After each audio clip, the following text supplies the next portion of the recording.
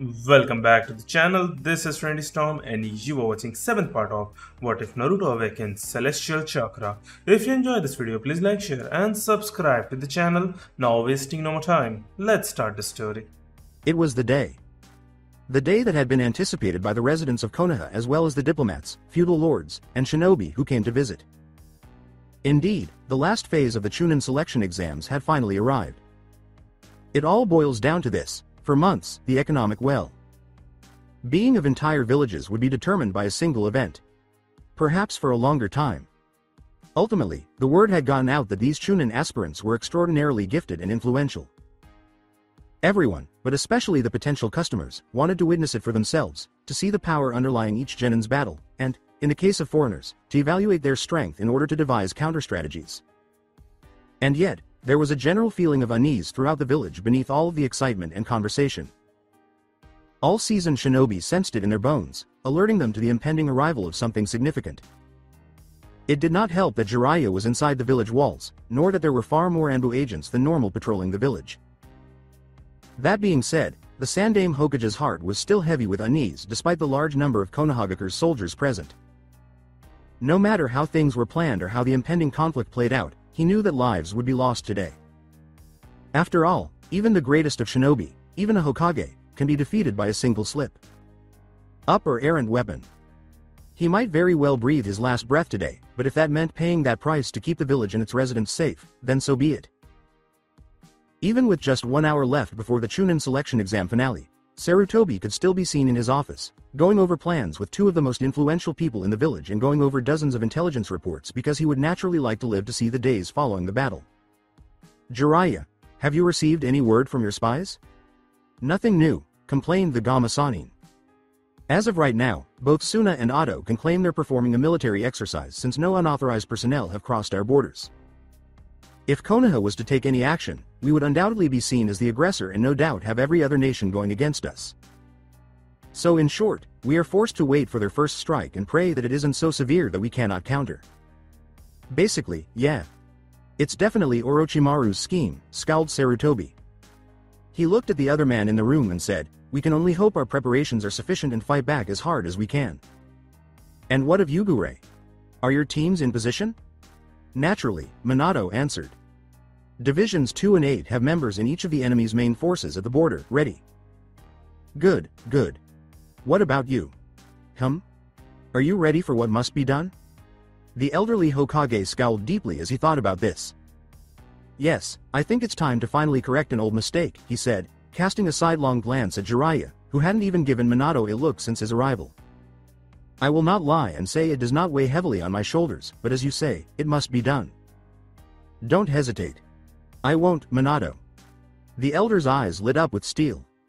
Orochimaru's time has come. And the other thing? Jiraiya and Sarutobi scowled at this. It will be done, but only if you're sure. It doesn't matter if I'm sure or not, it must be done. They must know. Very well.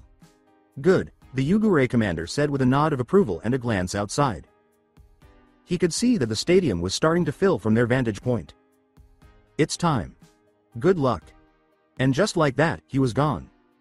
After a pause, Jiraiya started heading towards the door as well. He's right. Time to go. Jiraiya.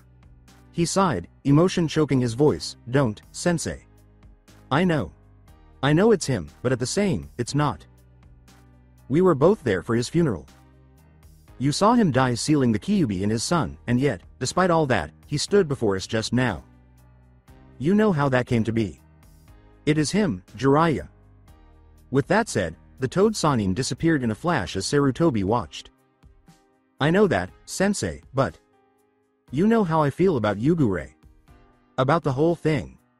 And I know it's him. I know that he's Minato in every way, but at the same time, he's not him at all. Oh, Jiraiya, I pray you realize just how fortunate you really are to have him here. 16 Chunin aspirants were gathering in the spacious stadium that would act as their stage for thousands of spectators during the last round of the Chunin selection exams, while the Hokage and his elite forces finished preparing. With the exception of two, every competitor had trained hard over the previous month and was now prepared. Where in Kami?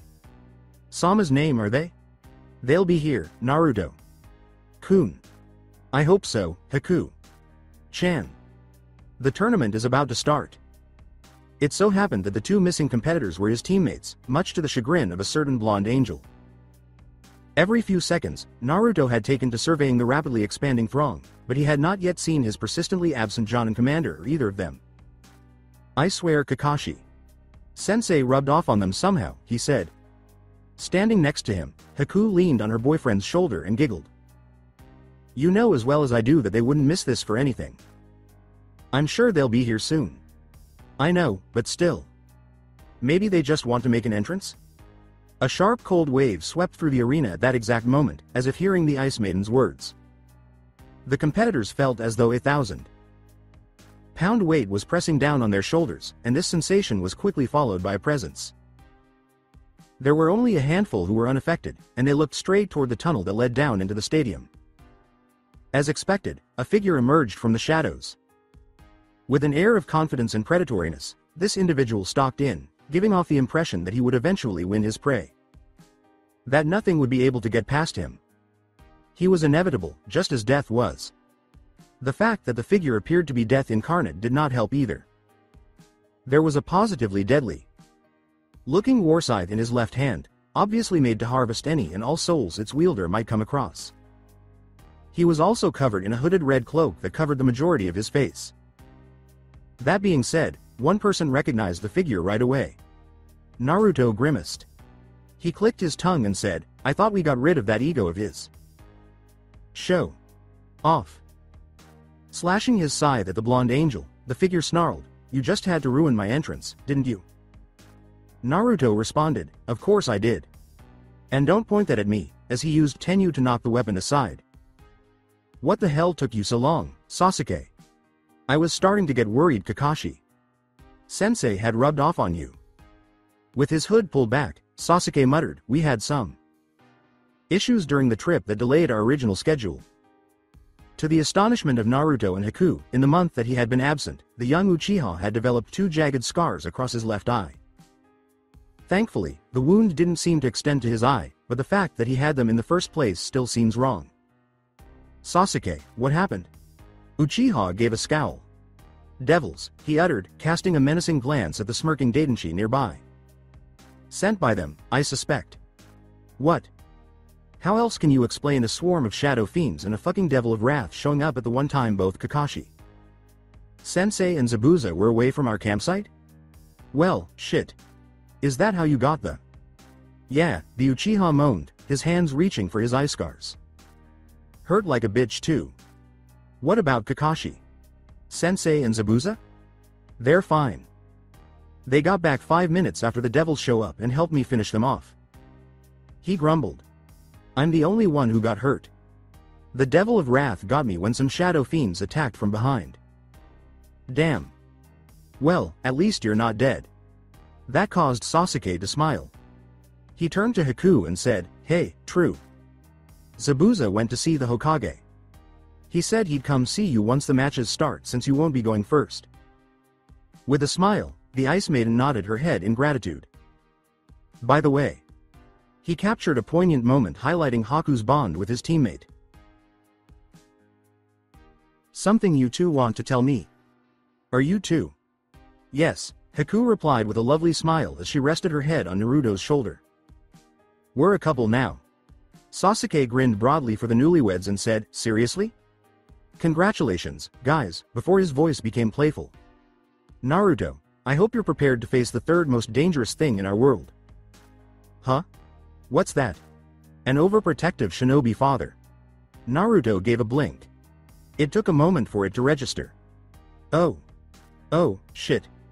Sasuke laughed. Yeah, you're pretty fucked. Uchiha laughed, and the angel glared at him. Oi, don't laugh.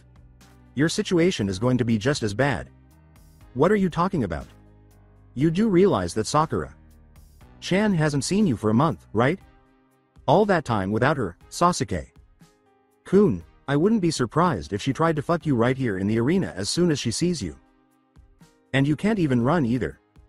We have to be right here for the exams. That completely silenced Sasuke. Yeah, you're just as screwed as I am. In fact, I'd even say you're worse off than. Oh, Sakura. Chan. We were just talking about you. Though he had been apprehensive at first, the Uchiha laughed at his friend's blatant joke. Nice try, Naruto, but I'm not falling for that old trick. Sakura questioned him from behind, saying, What trick, Sasuke? Kun? Holy shit. Sasuke literally leapt 10 feet into the air and landed on his ass in shock at the unexpected appearance of Team 7's missing member, and Naruto and everyone else watching roared with laughter. Sasuke. Kun? What's wrong? N. Nothing, Sakura. Really? She questioned, her eyebrow going up. Really, so, um, how've you been? Horny. Fuck me. Oh, with pleasure. Luckily for both the audience's sanity and Sasuke's innocence, this was also the moment when a Jonin wearing a bandana emerged from a swirl of leaves, announcing the start of the tournament. Yo. Name's Genma Shiranui, your proctor for this part of the Chunin selection exams. Like in the previous stages, I want you all to remember that my word is law in here. If I say stop, you will stop. Got it? Though there were a few defiant glances from Gaara and the Daidenshi, everyone nodded. Good. Now then, look alive, kids. The Kages are arriving. The Sandaime Hokage stood up above, on the balcony reserved for the Kage and their guards. His eyes were filled with pride. Glancing down at the Konoha Genin awaiting him in the arena below, they shone brightly. If only there wasn't going to be war. How many of them will make it through the impending storm? Sarutobi pondered, his smile disappearing. He shook off his melancholy with brevity. It's not the right time. Everything is prepared to the best of our ability. The only thing left is. He grinned. Ah, Kazekage. Dono. Raikage, Dono. Welcome. The Raikage of Kumogakure and the Kazekage of Sunagakure, two of the strongest shinobi in the world, stepped onto the balcony. Seated in the offered chairs on either side of their host, they greeted the Sandaime Hokage warmly despite being flanked by two hooded guards and wearing serious expressions. The Kazekage said, Hokage. Dono, you seem to be doing well, from behind his face covering. Thank you for having us. The Sandaime Hokage grinned again and said, Thank you for coming. You both must be tired from your journey here. Would you like me to order some refreshments? I'm quite alright, Hokage. Dono, but thank you for the offer. He shook his head, being the excited and enthusiastic man that he was. Drinks can always wait. Let's get on with the tournament. With a laugh, Sarutobi stood up. The stadium was packed with onlookers, shinobi, and prospective customers. More importantly, his Anbu commander just gave him the all. Clear that everyone was where they should be. Well, it's time to get started. He moved forward and opened his arms widely. Ladies and gentlemen, thank you for coming to Konoha's Chunin selection exams. Below you in the arena are the 18 shinobi who have risen above the odds to stand before you today. They have worked hard, sacrificing blood, sweat, and countless hours to their countries for the betterment of you, the people. And now, right here, right now, they seek your approval. To know that their efforts were worthwhile and to advance in their careers to become Chunin. The crowd erupted in cheers. Will they rise to the occasion or will they fall before its trials? We shall see, now, let the tournament begin.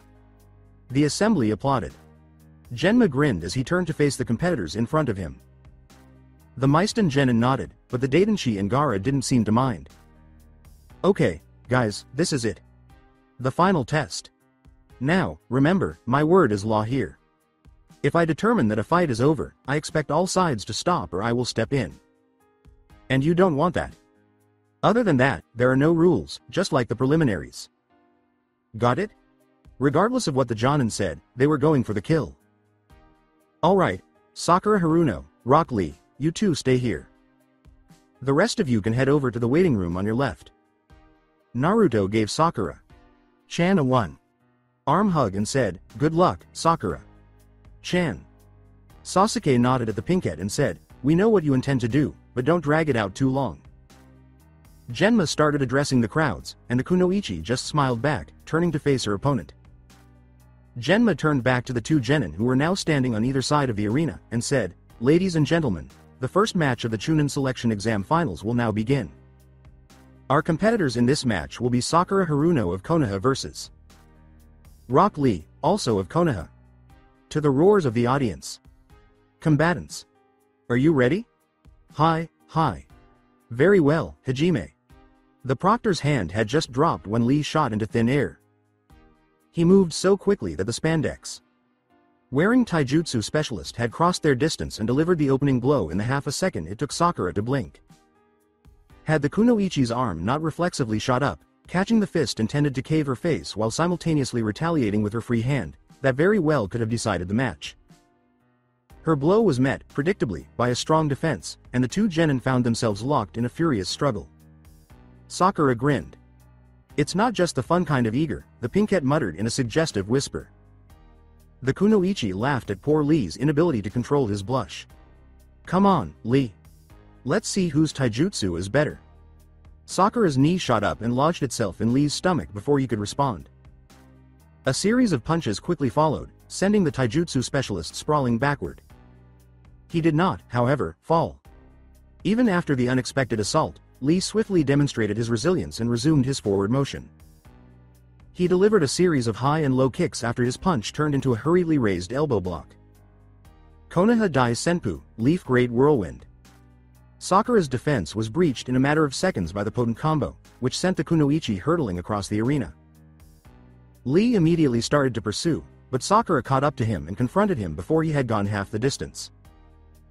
To the amazement of the onlookers, the two engaged in a fantastic battle of taijutsu, trading punches, kicks, and various other techniques. But it was obvious that Lee had the upper hand, even to them. He was simply stronger and faster by that much. Compared to Sakura, the shinobi dressed in spandex was dealing more hits and blocking more blows. She was aware of this. Sakura knew, in spite of her earlier arrogance, that Lee was superior in taijutsu, even at her base without her strength enhancement. This became very evident when she parried a jab, took a flying knee to her already bruised stomach, and realized too late that the move had been a feint. After the blow twisted her around and caused her to gasp in agony, Lee quickly capitalized on the situation by striking again, this time with a downward punch that sent her crashing into the ground, face first. Sakura, battered but not out, rolled onto her back in time to deflect Lee's next axe. Kick. Not that she thought it would help much, but at least it would give her some breathing room, so she tried to counter right away with her own kick. Or maybe it didn't. Sadly, Lee had discovered her true motivations. Lee didn't even grunt as he took the kick, instead of dodging, and went on to deliver the mother of all beatdowns. Shit. At this rate, I will lose. Desperate to protect herself, the pinkette thought. In between punches, Lee yelled, Come on, Sakura. Chan. You are better than this. Stronger than this. He stomped down on Sakura's guard and pressed, asking, Why do you falter now? Where has the youth and strength that I saw before gone? It was so beautiful, you were so beautiful. But now, seeing you fight like this, it this it? Is this really all your strength? Are Sasuke, Kun and Naruto, Kun that far ahead of you? That completed it. Sakura was a lot of things, but one thing in particular always made her angry, she was thought to be less capable than her teammates. She had trained herself to the brink several times since they graduated from the academy nearly a year ago, putting in endless hours of work. To gain her strength, she had to shed tears, sweat, and blood. In order for her to become stronger, she had been forced to confront her actual self and share her weaknesses with those closest to her. She had survived to tell the story of her battles with Jonin, Devils, and S. Class missing. Nin. She was a teammate of the champions of the Shinigami and Kami, as well as a champion of the Elemental Lords. By the grace of the gods, Sakura Haruno would not be losing today. That's it, Omote, outer, an inner voice informed her. Give him hell. Yes, without a doubt. Doton. Kyojin no Chikara, Earth Release, Titan's Might. Wham! Sakura suddenly leapt to his feet and sent Lee flying with a crushing uppercut to the jaw. With a glaring look of anger in her eyes and her fist clenched back, she immediately followed up by leaping high into the air. Kyojin no Itsuchi, Titan's Warhammer. With the force of an angry giant, Lee unleashed a punch that sent his hastily raised guard flying into the arena floor, creating a car. Sized crater and kicking up a cloud of dust that obscured his figure. Sakura, however, was not yet done. After all, she sensed her opponent even though she was unable to see him. Kyojin no Ono, Titan's Battle Axe. Konoha Shofu, Leaf Rising Wind. Whack. In some way, Lee recovered enough from his opponent's attack to take off his weights, including two new weights he had been wearing on his arms, and counterattack with a kick of his own in the few brief seconds that separated him from crashing into the ground and Sakura planning her next move. A deafening boom marked the collision of the two powerful attacks, sending a shockwave rippling across the stadium, surprising many spectators with their screams and blowing away what was left of the dust cloud. However, no side triumphed over the other. Even now, they were dead. Yosh. Manly, joyous, excited tears started streaming down Lee's face. This is the fight that I wanted, Sakura. Chan. Your strength. Your skill. Come, Sakura, Chan. Let us fight with our full springtime of youth. Bring it on, Lee. This is where the real battle starts. Shannaro. Hora AHH. As the two competitors charged at each other and started fighting all across the arena, sending shockwaves with every collision, the audience roared in approval. It was quite the sight to behold, especially in light of the fact that both fighters were obviously getting along with one another on the field. With each subsequent blow and strike, Lee and Sakura were gradually acclimating to each other's fighting styles. They were tanking everything else, but that was happening less and less. They were blocking what they could, avoiding what they couldn't. I sense his movements, but he senses mine as well.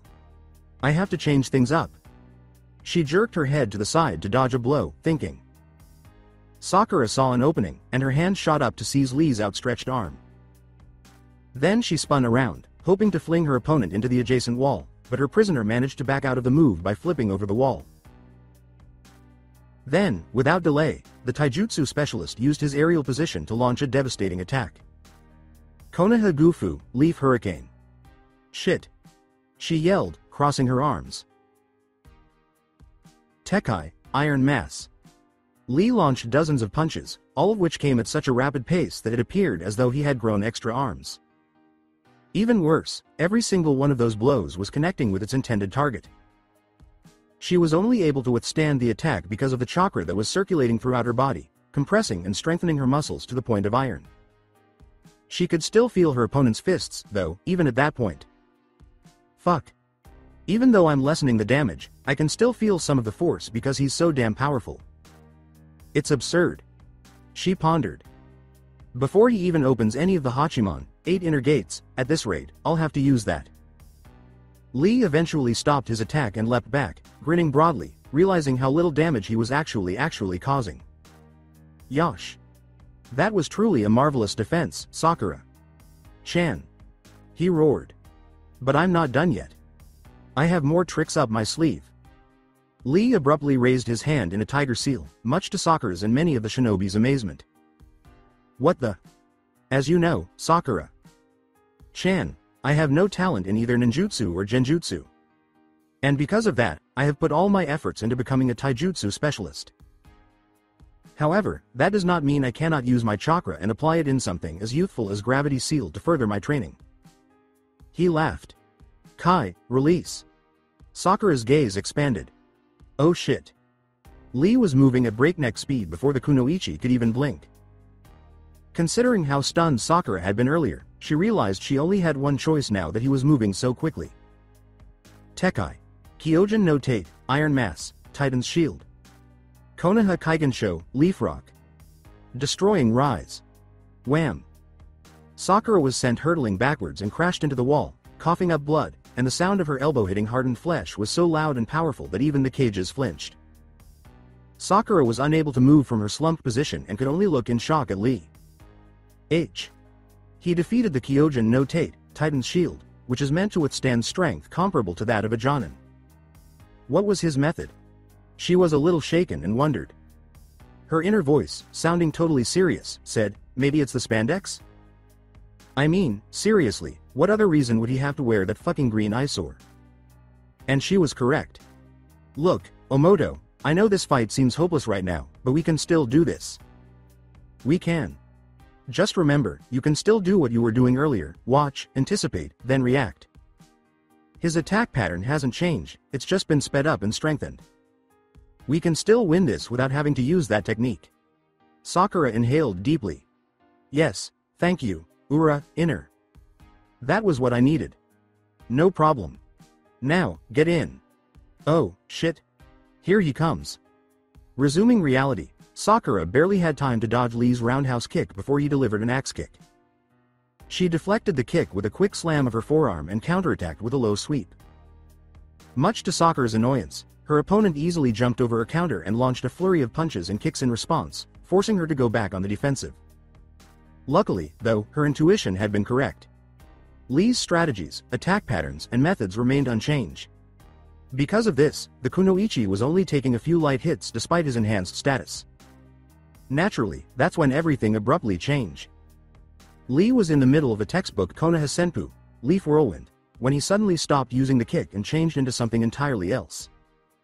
Instead of using the more direct movements of the Goken, strong fist, he changed into something that looked like a three. Fingered claw with one hand. Ryusoken. Ryu no Kagezume, Dragon Claw Fist, Dragon's Talon. Lee surprised his opponent by using the momentum from his kick to swung his claw. Like handed her, gouging three bloody lacerations across her ribs. Sakura staggered back and clutched her now. Bloody side, saying, Gia. Her eyes were wide with shock and pain.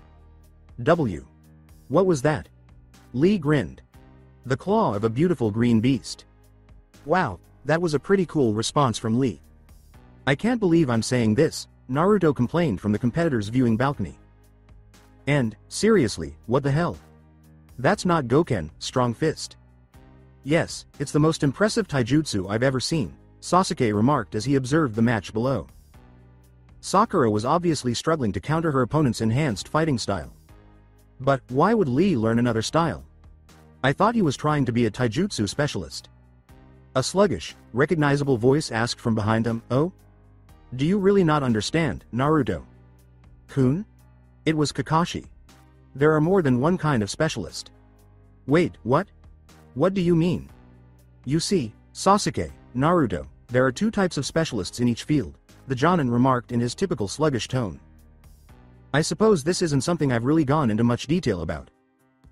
One type is to focus on a specific aspect of that field like, for example, being a taijutsu specialist in a single martial art. To basically become unmatched in that style. The other type, however, is more well-rounded in that it requires knowledge of several different styles. However, both approaches have their weaknesses. A specialist that focuses on just one martial art may someday meet an opponent whose style is the perfect counter. Similarly, a specialist that is more well-rounded might face an opponent whose mastery in their style is so great that no matter how many styles the specialist knows, it isn't enough to overcome the skill difference. In this case, I'd say Lee. Kun has chose to follow a path somewhere down the middle, in that he specialized in Goken, strong fist, but can use various other styles to ensure he doesn't become too predictable in battle. It's a very smart decision on his part. Guy is the same way actually. Oh, SH asterisk T, Naruto swore. So what style is he using right now? Ryusoken, Dragon Claw Fist. It's one of Kumo's preferred taijutsu style. He probably learned it from Guy. Hopefully, Seeing this won't upset the Raikage. Even if it does, there's nothing he can do about it. It was one of the compensations he had to give up after the whole Hyuga incident. Huh. You said Guy follows the same path in taijutsu as Lee, right? Sasuke inquired. How many styles does he know? At the last count. More than 30, Kakashi replied. And I have no doubt Lee.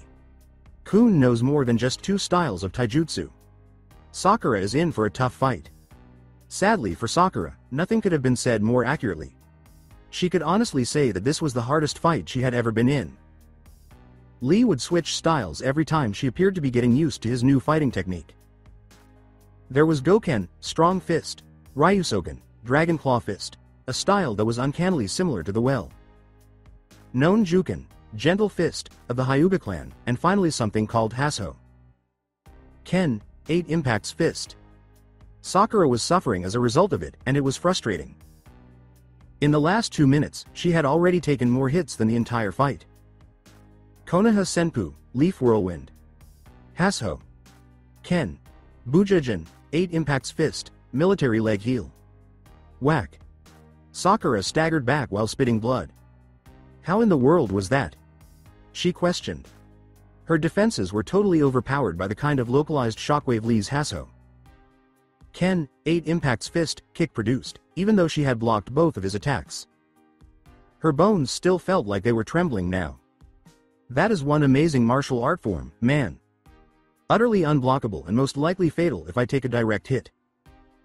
Sakura had no idea how she was going to counter this new taijutsu, but she was determined not to give up just yet. Ryusoken.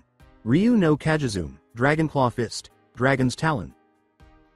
Sakura dodged the dragon's claw and tried to hit back with a haymaker, but she missed and was hit in the precise spot on one of her pressure points, temporarily numbing her left arm. The pinkette was knocked onto her back by a series of punches, but she quickly got back up and leapt back, narrowly avoiding another dragon claw, and then launched a hasso. Ken, 8 impacts fist, attack. Regretfully, she had not gone more than 10 feet before Lee was upon her once more, his arms thrown back this time. Konoha Arashi, Leaf Windstorm. Fuck. Sakura yelled, throwing everything she had into her fist and concentrating as much chakra into her working arm as she could manage without having time to dodge. Kyojin no Itsuchi, Titan's Warhammer. Another seismic wave shook the arena as the two attacks collided, but this time, a definite winner emerged. Sakura's punch was swiftly overpowered by Lee's attack's sheer force, which sent her flying across the arena and into the wall on the other side. Omoto, I think it's time you used that technique. Sakura slowly got back up onto her feet and met her opponent's gaze, saying, I. I think you're right. Her opponent had thankfully stopped his attack in case his final blow had been sufficient to end the fight. Taking a horse stance, Sakura said, Not yet, Lee. Our fight is far from over. Her other hand reached up to touch the ornate tattoo on her deltoid, which represented the location of the elemental talisman of water's ceiling. As the green glow from her strength augmentation technique subsided, Sakura grinned at her opponent and said, Lee. You are truly an absolutely amazing shinobi. Through nothing but hard work, grit, and perseverance, you've become so strong, and you haven't even opened any of the Hachimon, eight inner gates, yet. And I know, as I am now, I can't beat you. But with this, my new technique, her grin turned vicious. I can. The kunoichi said as steam began to rise from her body and her skin abruptly flushed, turning light pink. Her once voluminous, if slightly dirty, hair got wet and began to cling to her skin. But Sakura's eyes, with their newfound fire and confidence burning in them as she looked up, were perhaps the most noticeable change, at least to the shinobi who were watching. Gia Secunda, Gear Second. Sakura straightened slowly, one arm raised to raise a palm in Lee's direction, the other held back. It appeared as though she was aiming. Kaijin no, sea gods. Lee tilted his head to the side, as if unsure of himself. It looked a lot like the Hachimon, eight inner gates, even though he knew his opponent hadn't unlocked it. And from her words, it seemed that she had somehow gained strength. He was not sure how. Nevertheless, Sakura could not have hit him from such a distance, no matter how strong she got. Tsunami, Tidal Wave. HRRKK. Whack. It was too quick for the eye to witness. Sakura vanished in an instant, having been there for over 50 yards at one point. She simply vanished. After that, pain was all that Rock Lee knew. Agonizing, pervasive suffering. He appeared to have been struck by an erratically departing train before colliding with the wall. Even worse, he was utterly incapable of keeping up with the Pinkette's new pace, and her strength now far outmatched his own. The question, W. What just happened? Was thus raised by that. Not just Lee was pondering that. Naruto and Sasuke were standing on the competitor's balcony, gaping open mouthed at the battlefield. Naruto demanded, WH. What in the name of Kami? Sama did she do? It was astonishing to witness Sakura, who had never been very fast compared to him or Sasuke, suddenly move at speeds that would make even him jealous. Beyond the fact that she needed the elemental talismans for whichever method she employed, Naruto had no idea what she had actually done. Were you able to follow that, Sasuke? With a slow nod, the Uchiha fixed his pink haired teammate with his Sharingan. Yeah, but just barely, how did she do that? The angel shrugged, saying, I think she did something with one of the elemental talismans, but what? No idea. Damn, well, looks like you're no longer the fastest one on the team. I'm still a little faster, though not by much, still, looks like you're going to have up your own speed training. What? Sasuke asked, turning to face his now. Smiling teammate. What are you talking about? You do realize with her speed boost, she can catch you now. Sasuke turned pale at once. Oh, sh asterisk t, he said as a black cloud of sorrow materialized above him. I'm so fucked, it's not even funny anymore. Kakashi looked up from his erotica and said, Yup. Sasuke. Kun, have you ever considered just going along with it? Do you not remember what she said a month ago? She wanted to use leather and whips. And. The Icha Icha Kakashi issue that I was reading just so happened to feature bondage, in the ultimate case of serendipity, irony, or whatever force it was that despised Sasuke Uchiha. Do I look like someone who likes bondage? Well. Don't you dare answer that, you perverted Cyclops. Hey, Kakashi. Sensei, maybe he bats for the other team. I mean, seriously, sex with Sakura Haruno, Kunoichi Illustrated's hottest teenage Kunoichi, and he refuses? You might be onto something there, Naruto. Kun. I know, right? I knew it. Jisei exclaimed as he instantly became very still. Why didn't you say so? I hate you all. Sakura was back on the field, waiting for Lee to emerge from his artificial crater. Even after taking her punch in the sternum, he deserves credit for only taking a few seconds to complete the task. Even better, there was now fire in his eyes. Despite having been dealt such a severe blow, he was neither afraid nor demoralized. No, he was ecstatic. His eyes gleamed as he exclaimed, Yosh. That was most impressive, Sakura. Chan. He crossed his arms, hardly able to control his smile. Your flames of youth are burning even brighter now. Allow me to return the favor. He exclaimed. This is the battle he desired. A fight in which he could demonstrate to all that even a shinobi devoid of any skill in genjutsu or ninjutsu can be formidable and well respected. That perseverance and hard work could triumph over brilliance. It was time to prove his strength and go beyond his comfort zone. It was time to defend his ninja path. It was time for Rock Lee's youthful explosion. Hachimon. Kaimon, 8 inner gates, gate of opening. Human, gate of healing. Toman, gate of life. Kai, release. Lee's skin turned a deep red, matching the color of his opponent, and pure power erupted from every pore. It was amazing to watch, particularly for Sakura who had created the move she was currently using using the basic ideas behind this technique. I only have roughly 4 minutes left in this state, just like Lee. The Pinkette thought, I need to make them count before Gia Secunda, Gear Second, expires, remembering how she had invented the method. The realization that Kunoichi could never be as physically strong as their male counterparts had led to this realization. That being said, they were still able to improve their skills using certain unique techniques, just as she had done with the Doton. Kyojin no Chikara, Earth Release. Titan's Might. In light of this, Sakura started experimenting and eventually developed the gears, unique states that allowed her to focus all of her chakra flow into a medical chakra and onto an elemental talisman, giving her the ability to control and manipulate her own body. Sakura was using the elemental talisman of water in the instance of Gia Secunda, Gear Second, to precisely control and increase her blood flow to insane levels, giving her body more oxygen, nutrients, and chakra without damaging her blood vessels or organs. She became exponentially stronger as a result, and on a bad day when she was smashed and suffering from a concussion, she could probably compete with Tsunade. Regrettably, there was a risk associated with such a strong state.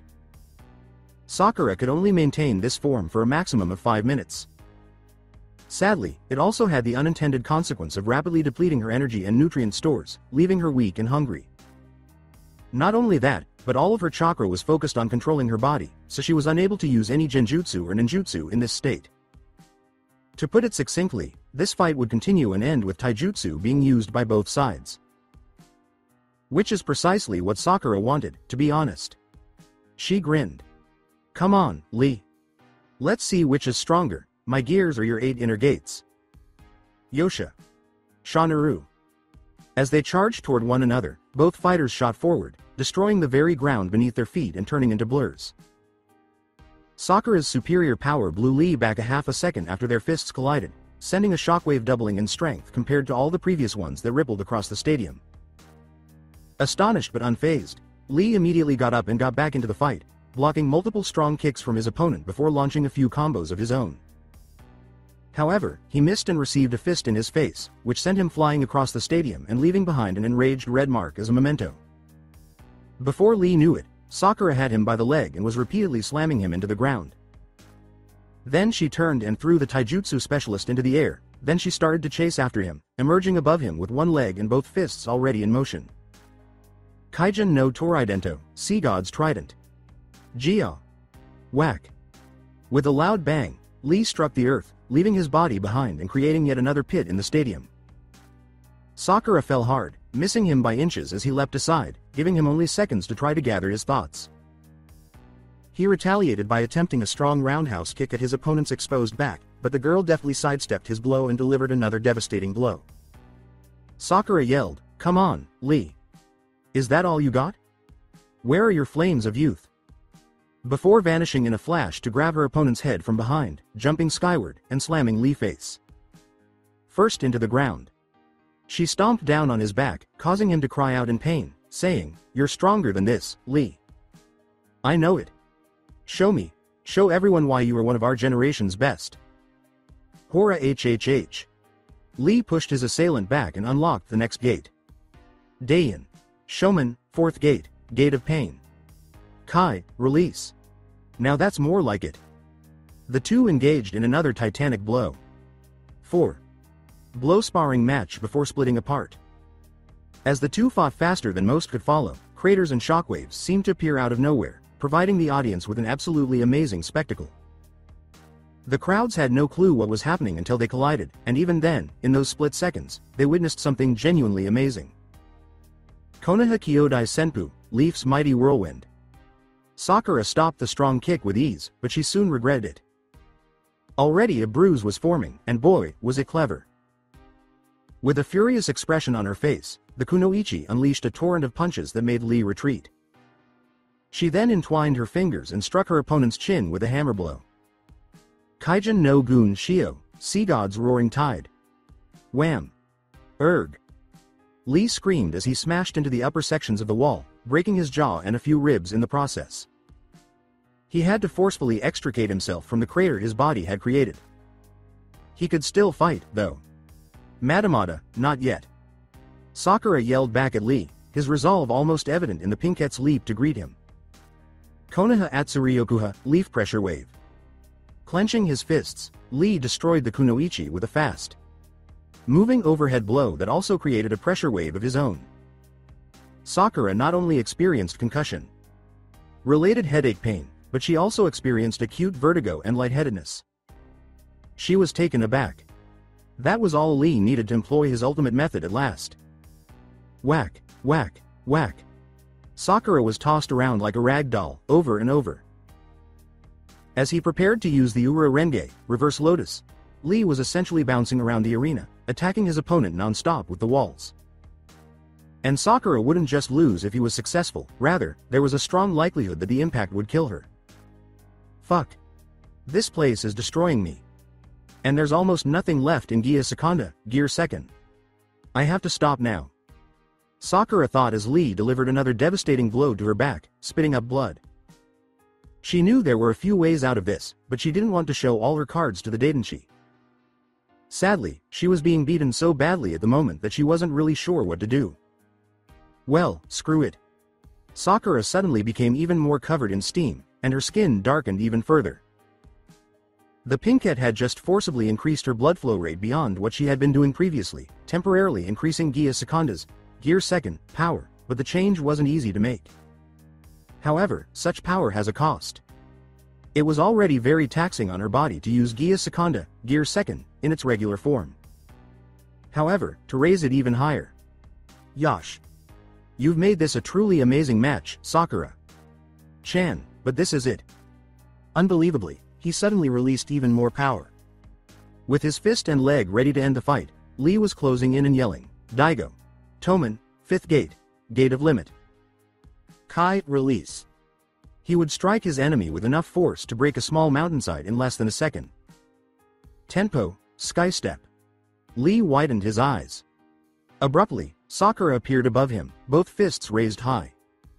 Sakura roared and slammed both of his fists into Lee's chest, sending the taijutsu specialist flying toward the ground and declaring, Kaijin no Tensoku, Sea God's rule of heaven. The subsequent crash sent a shockwave through the stadium and left a massive crater on the earth. Sakura had collapsed outside the crater by the time the shaking stopped. Her skin had turned completely pink, which meant that Gia Secunda, Gear 2nd, had been deactivated. She now appeared pale, exhausted, and ravenous. The Pinkette thought, I could really go for some celestial cuisine right about now. Sakura knew that the fight would not end until the proctor called it, regardless of how exhausted or hungry she was. Consequently, she rose gradually and hobbled towards the crater's edge. Lee? You alive down there? Sakura cautiously peered over the edge of the crater, hoping that her opponent had finally lost. She was too weak to continue fighting in this state. Lee? She asked, nearly collapsing with relief as she glanced down. He had left. She won, Sakura. Chan won. The crowd erupted into a roar as soon as they heard that statement. With the fight being better than they had anticipated, even the Kages were clapping with enthusiasm. What a struggle, what a struggle. Undoubtedly a historical moment. Sakura ignored all of this. Rather, she was limping slowly over to Lee's lifeless body. Although it was excruciatingly painful, she had to say or do something. After what seemed like an eternity, Sakura finally arrived at the bloodied and bruised body of her opponent and knelt down. She said, You did it, Lee. You've proven yourself to be a splendid shinobi, and leaned over to kiss Lee on the cheek. And I have no doubt that in time, so long as you continue to follow your Nindo, you will become even greater.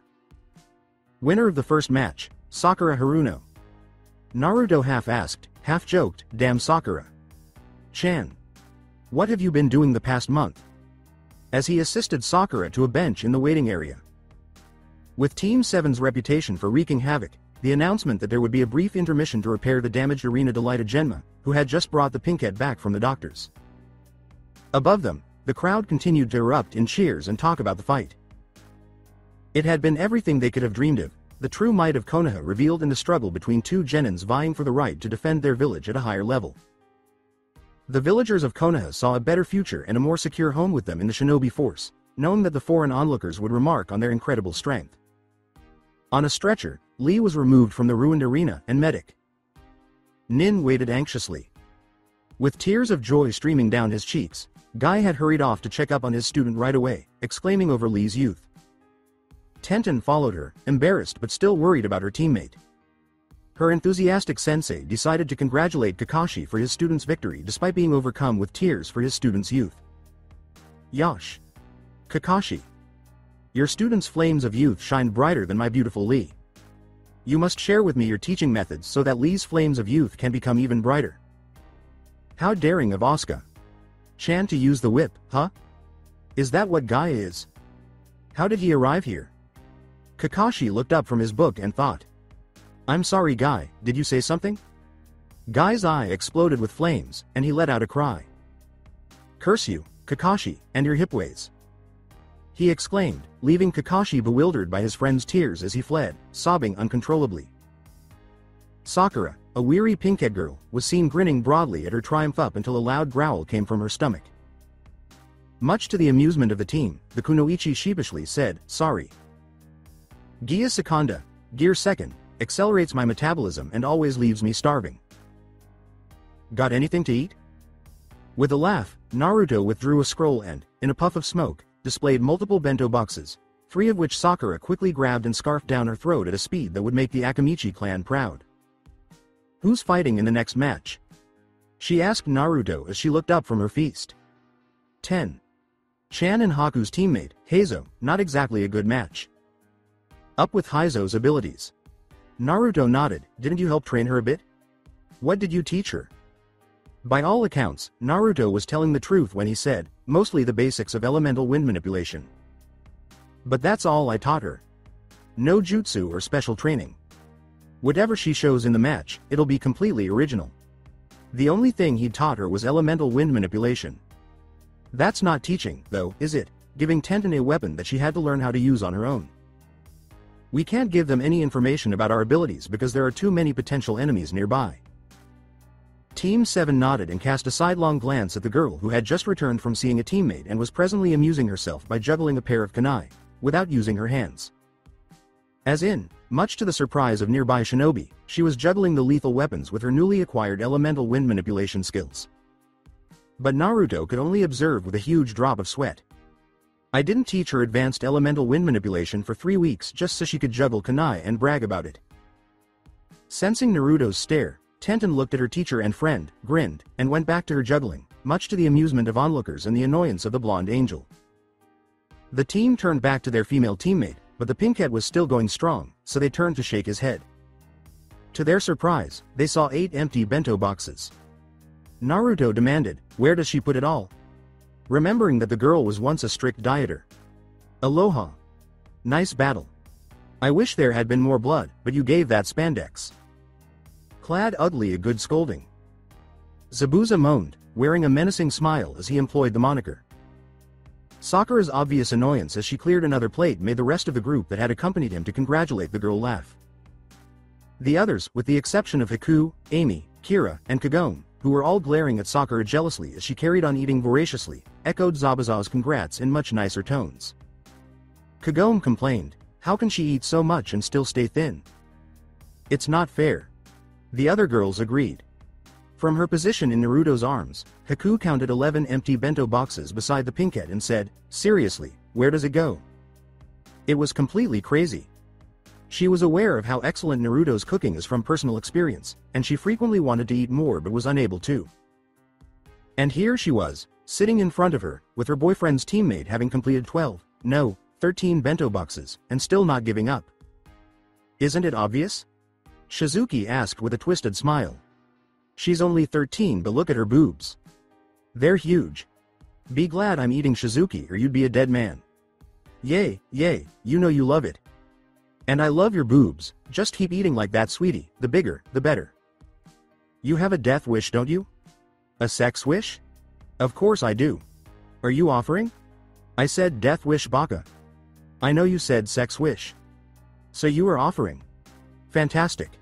When and where? I was not offering. And do you have to be so perverted in public? Public? You want to have sex in public? I didn't think you'd be into that kind of stuff but whatever turns you on is hot and cool with me. I didn't go down with you back in the land of waves because I didn't know if I could trust you, that and you were flat. Chested, but now. Shizuki, as soon as I'm done, you're a dead man. Naruto, who had been savoring the banter between Sakura and Shizuki, became aware that his teammate wasn't acting right. Sakura was meant to be constantly aroused due to the talisman of fire, right? A month ago, she had demanded sex from Sasuke and had stripped an unconscious Oto. Nin for sexual release. Now, however, she was acting much more serious and rejecting every offer. It was as though she no longer had the talisman of fire. Sakura, Naruto said in a serious tone that caused the group to turn to face him right away. What happened?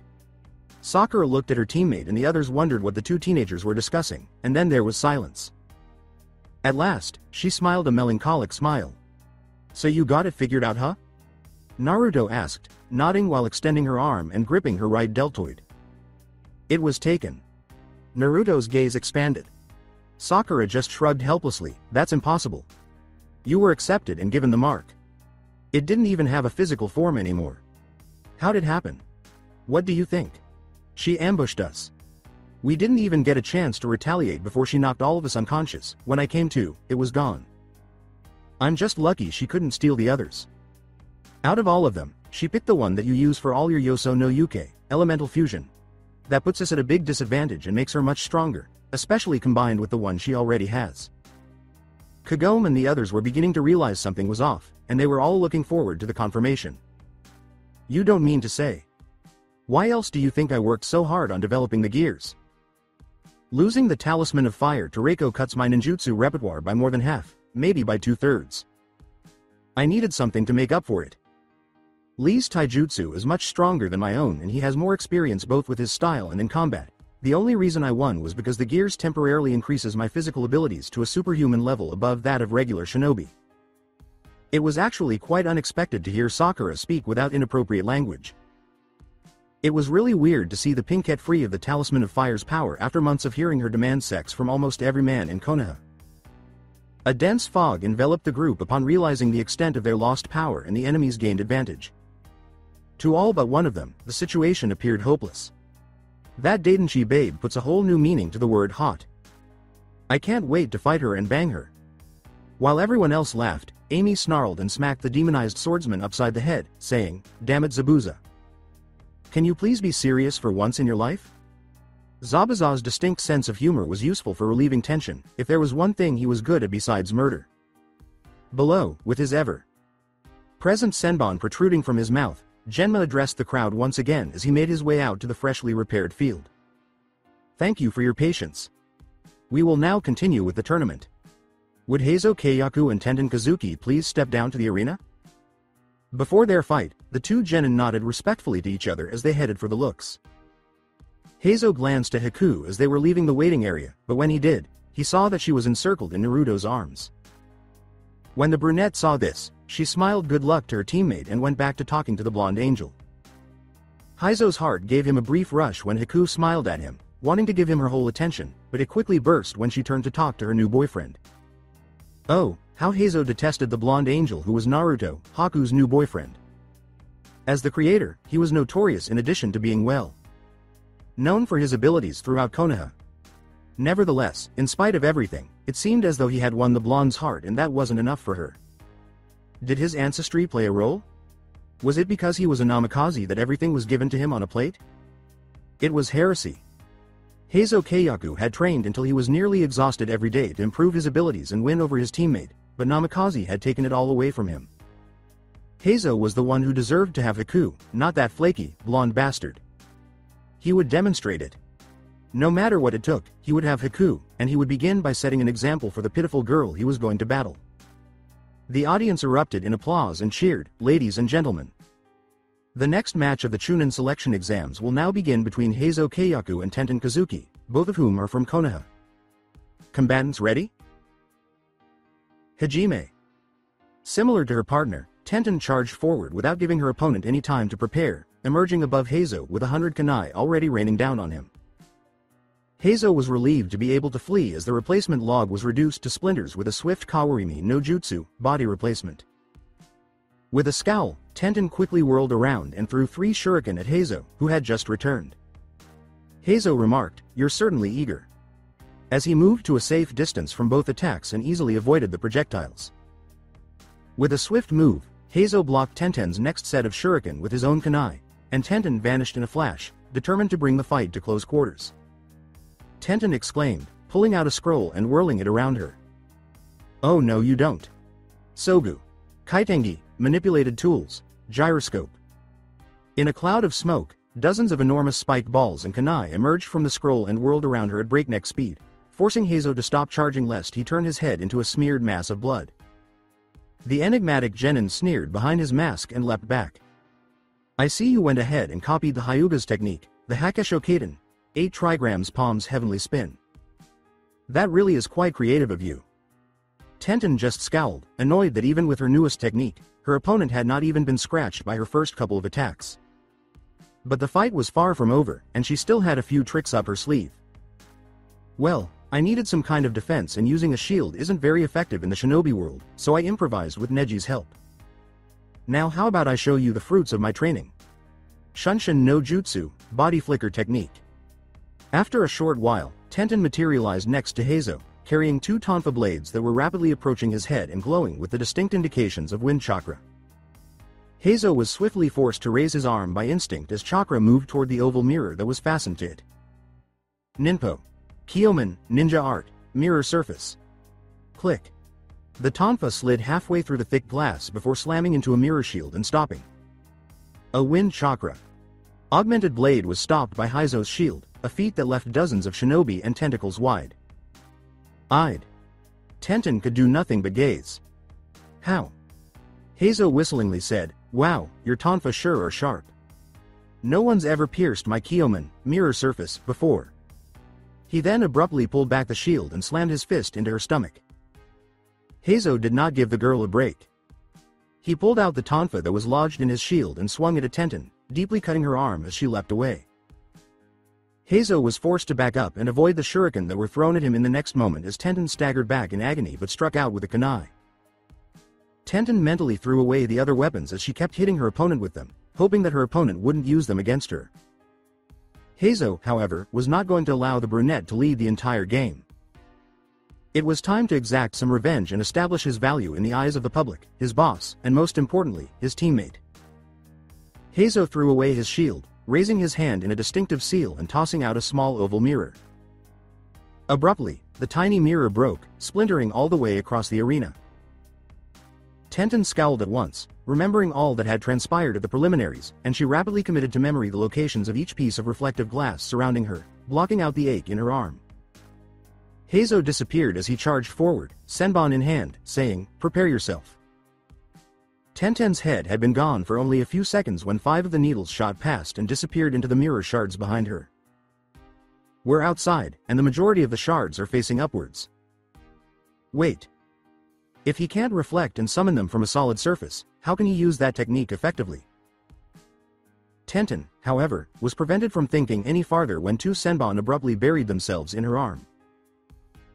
Tenten was forced to move to avoid being turned into a pincushion by the swarm of Senbon that appeared and flew toward her before the girl wearing buns had a chance to scream.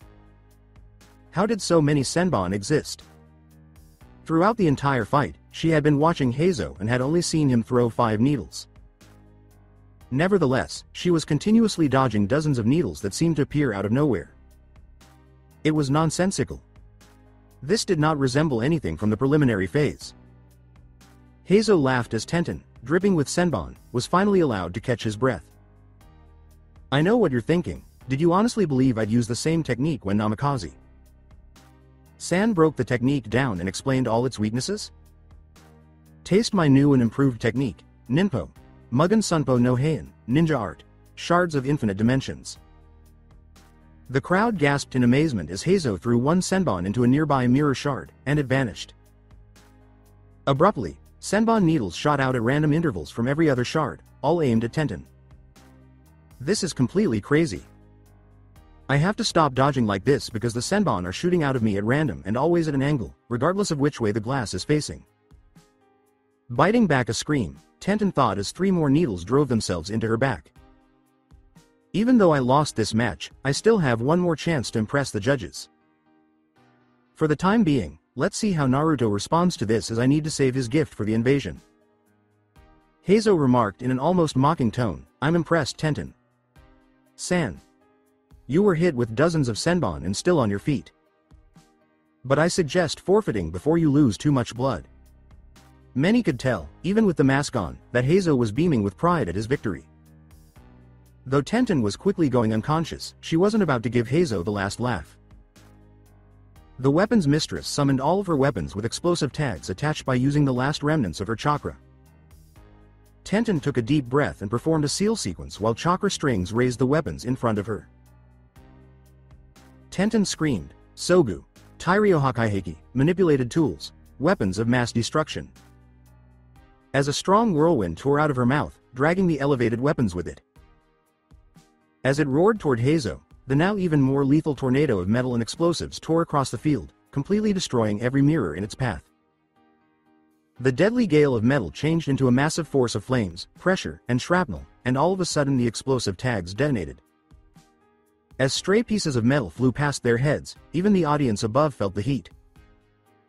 Heizo's eyes grew wide as he saw the virtual wall of destruction yelling toward him, never once imagining that Tenten, who, based solely on appearances, was just a girl who liked sharp objects, had something planned. Ninpo. Kyomen, Ninja Art, Mirror Surface. Just before Tenten's attack actually hit Heizo, a huge shield appeared strapped to his arm. Heizo pushed back desperately, but the cyclone of metal and fire slammed into the shield, sending him crashing back into the stadium walls. Pellets of shrapnel streaked by, cleaving through anything not shielded. The shrapnel and flames did their work, severing his tendons and scorching his skin through the clothes, causing his exposed feet and calves to give out. His left leg failed him in a matter of seconds, bringing him to his knees. Next, the other. Heizo sensed his shield beginning to break, but it eventually stopped. Even though it was only 15 seconds long, it felt like an eternity. Heizo peered over his shield, squinting behind his mask as he saw the damage Tenten's attack had caused to the arena. Tenten, who had finally passed out, lay at the other end of what appeared to be a warpath, with flames and metal fragments leaving scars on the earth. Winner. Heizo Keiyaku. This was his win. He had prevailed. Glancing up, Heizo saw Haku grinning in his direction while she joined in the applause. Indeed. Namikaze, take that. I'll have her soon enough. The crowd, enthralled with the match that had been the ideal continuation of the first, continued to roar in approval. There was a lot of weaponry, some taijutsu, and a brief introduction to ninjutsu. The audience particularly enjoyed the final attack, which fused ninjutsu and weapons into one horrifying and devastating force. Naruto muttered, damn, she's been really busy, as he watched the medics remove Heizo and Tenten to tend to their wounds. All I taught her was elemental wind manipulation and she goes ahead and creates a nuclear explosion with weapons. Haku pressed her lips to Naruto's and said, Naruto. Kun, I'm going to go check on Heizo with Zabuza. Sama and Kira. Chan. Regretfully, or fortunately, depending on your point of view, Naruto desired more from Haku than just a quick kiss, so he drew him in as he intensified the kiss. The air was heavy with lust. Filled moans as the couple made out, and then they broke up, staring at each other and ignoring their friends' mocking glances. After giving Haku a final peck, she and her team departed, and Naruto's smile turned into a frown. Heizo's attraction to Haku wasn't the only thing that bothered him, though. No, with the invasion drawing near, now was not the time to consider that. But he did shoot Zabuza a sharp glance, and the demonic swordsman nodded. Zabuza should be more than enough to defeat Heizo and anyone else with him. He'll keep Haku safe, even if something's up, Naruto reasoned. Naruto jerked his head in the direction of the arena, turning to face his teammate. Your match is next Sasuke, try not to show off too much. You got a lot of daimyos betting on you and I'm sure most of them put some kind of time limit. Yay, I know. I'll kick his ass, just wait till you and I fight. I still need to get you back for those laxatives. Sakura, Kakashi, and Naruto all let out a loud laugh as they remembered the time Sasuke still had a tree stuck up his ass. Once the blonde had had enough of the conceited Uchiha, she proceeded to add laxatives to Sasuke's favorite food, tomatoes. It goes without saying that Sasuke punished his toilet for the remainder of the afternoon. Sasuke simply gave his giggling teammates his trademark death glare, which made them laugh even harder. Perhaps if he sent them all to hell, specifically to the area where the outcast succubus and incubus were located, they would be quiet. With a laugh, Forsaken said, and they called the Daidenshi evil and sadistic. They got nothing you. Knowing that succubus and incubus were only banished if they were incredibly ugly and positively repulsive to look at, the ancient celestial being latched on and raped anyone or anything they could get their hands on. Sasuke himself had multiple near misses as a result of their banishment. With a shudder, Sasuke cast those terrifying memories out of his mind and concentrated on the here and now. The Uchiha then became aware of something. Hey Naruto, where's Hitomi? Chan? Knowing that his teammate had a soft spot for his daughter, Naruto smiled. She's with Yugo and Tenzo exploring the village. Sasuke nodded, relieved to learn that the cute little girl, who could easily pass for the team's daughter, was safe and under good care. He was aware that, exploring the village, referred to the evacuation site. He was curious about the strength of this Kumo. Born shinobi named Jiro Agawa. Having fought his teammate in the preliminaries and being a student of the Raikage, Jiro was undoubtedly a formidable shinobi. While Sasuke was still mentally preparing for the impending battle, Sakura and Naruto were conversing with the Zabuza group members who had stayed behind. You guys, what rank are you? I never asked. What about the rest of you? We know that Zabuza is Junin and that Haku and Kira are Genin. Sakura inquired. Due to numerous high ranking missions in her training, Sakura hadn't exactly had many opportunities to talk to the group since their return from Wave. In fact, she felt a little embarrassed not to know her friend's shinobi ranks, but they didn't seem to be bothered at all. I am Junin, and so is Eren. Kagome. Chan is a Chunin and Shizuki is a Tokubetsu. Junin in Kenjutsu, Amy responded, mentally checking that she had mentioned everyone. Whoa. You guys are everywhere, Sakura remarked. The group chuckled. Actually, Haku and Kira should both be Chunin but they wanted to remain with Zabuza and people closer to their age group so they decided to be Genin. Your ranking system is far more advanced than the previous Kiri.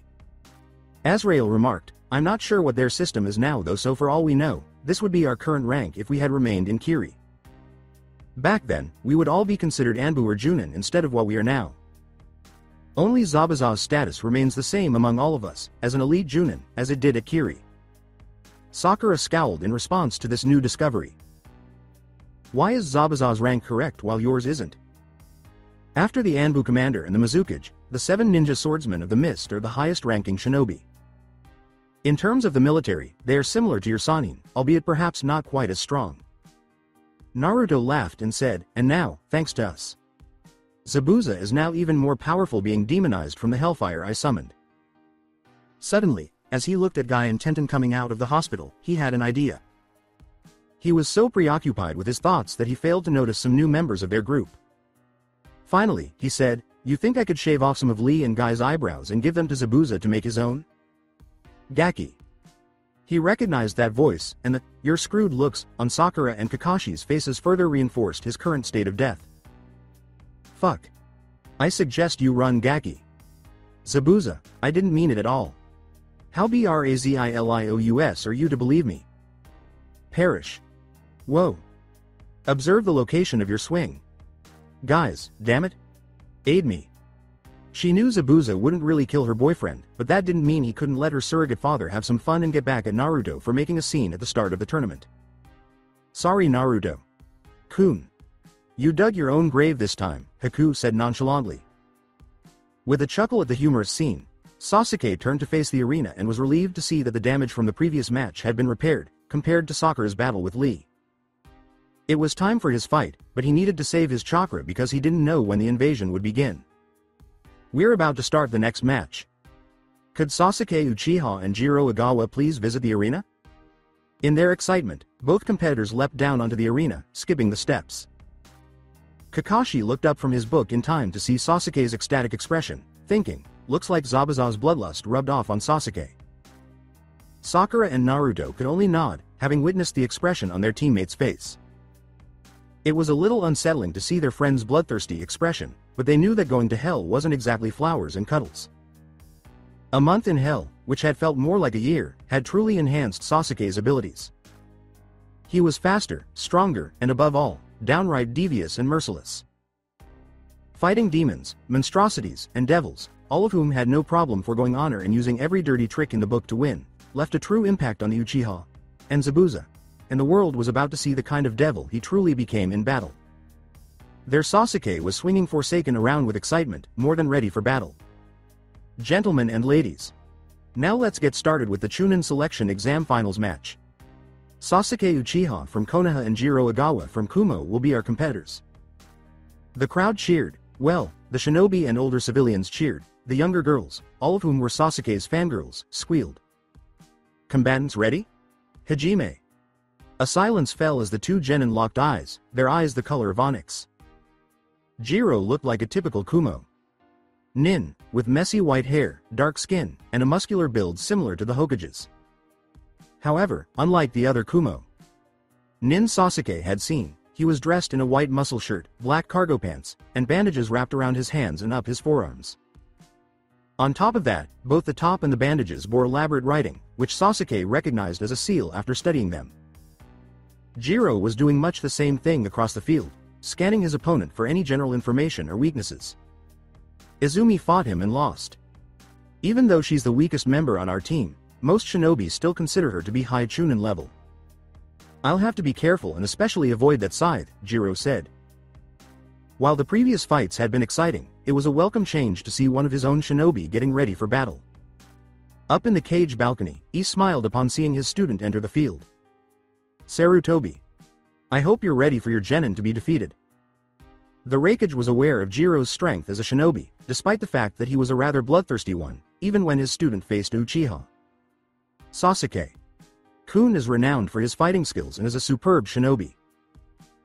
The elderly Hokage looked confidently at the imposter Kazekage, I do believe Konoha will be victorious in this fight, a reference that went beyond the exam.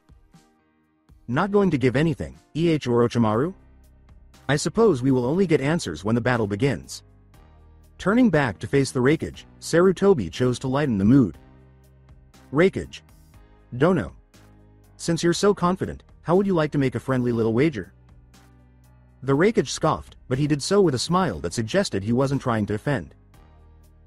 Bah. Your detriment my student completed 3S.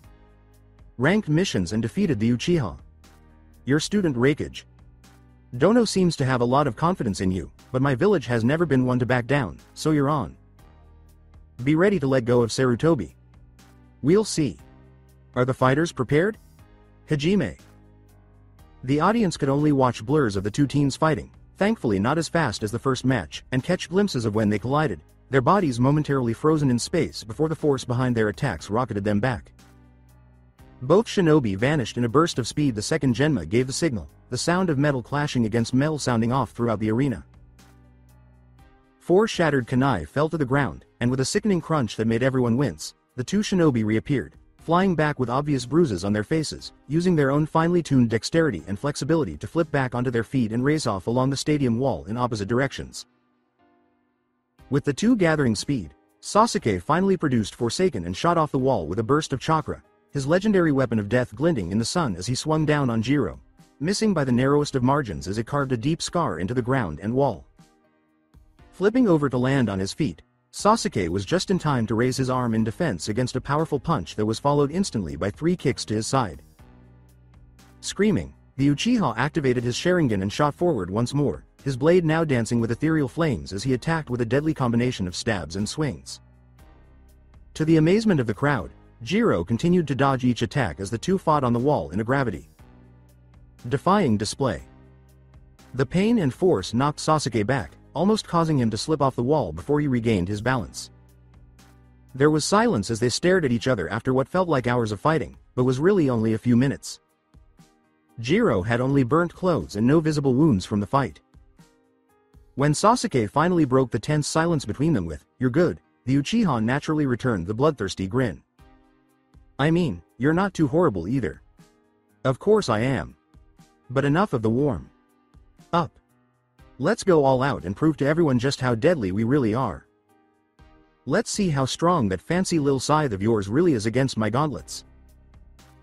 The seals adorning his bandaged arms suddenly flared and vanished under a pair of bronze-bladed gauntlets, smaller than the Raikage's but appearing equally deadly with the razor-sharp blades protruding from the sides. Suddenly, there was a crackling sound along the bronze metal. Do you believe you can defeat me? Sasuke challenged, collapsing Forsaken into its sword. Gauntlet formed with a sinister grin. His battle chain was already attached to the scythe with a third wrapped around his gauntlet. Eerily silvery blue chakra with hints of black began to swirl around Sasuke as he settled into a stance. Bring it. Both shinobi shot forward at speeds faster than the civilian could keep up, slugging each other around the arena with their favorite weapons. Showers of sparks marked the end of their brief encounter before they split up again. Blood had already started to stain the fields as they engaged in combat, completely oblivious to their wounds in the excitement of the moment. Every blow they delivered was fast and intended to maim or kill. A battle between formidable shinobi out for the kill, this was exactly what Jiro wanted. Nothing else mattered to him in the heat of battle, not his teammates, his teacher, his family, or even his village, this kind of feeling was unmatched. Even as the Kumo. Nin skillfully dodged each lethal strike, Jiro couldn't help but smile. Jiro saw his chance to retaliate after Sasuke's fallen scythe slightly overran its blade. With a swift tripping sweep and a primal roar, the Kumo. Nin did just that, slamming his electrically charged fist into his flailing opponent's gut, only for it to pass straight through Sasuke's body. Genjutsu. Then, though, where is he? Right here, a voice whispered behind him. Fire release. Great fireball technique. Katon. Gokakyu no Jutsu, Fire Release, Great Fireball Technique. Jiro was left reeling as Sasuke buried Forsaken into his side, only reflexes and instincts keeping him from severing in two. Blood splattered onto the ground as the weapon was ripped out, aggravating Jiro's wound before Sasuke leapt back, but he had no intention of giving his opponent a break. There was silence as the crowd was shocked by the contestant's death, but then an ominous voice resounded throughout the stadium, Raiton. Shirai, lightning release. Lightning strike. Death seemed imminent as the gigantic orb of flames closed in, obscuring the Kumo. Nin from view as it exploded into a roaring blaze. The crowd erupted in horror as they saw their beloved Uchiha light up from the electricity tearing through his body, only to realize that Sasuke seemed completely unfazed, standing perfectly still and staring at the inferno from his previous attack with a smug look on his face. A bolt of lightning shot out from the flames and slammed into Sasuke with deadly electrocuting accuracy. Your teammate used the same technique against me in the preliminaries. I think she called it Raigeki no Yoroi, lightning strike armor. Sasuke cocked his head to the side, recognizing the technique, and saw that Jiro was enveloped in lightning with his wound bandage, though the wrappings were already stained red. Jiro knew he didn't have much time before the wound rendered him unconscious. Yes, as you can see from our Raikage. Sensei, our team is proficient in nintaijutsu. We're kind of like your pink teammate from the first match, Jiro grinned. However, how are you not hurt? I used a technique that hit you squarely. To the surprise of both Jiro and the spectators, Sasuke's body broke apart into dozens of ravens that started flying around the stadium. As they flew, feathers broke off and fell around Jiro, who whirled around in obvious confusion.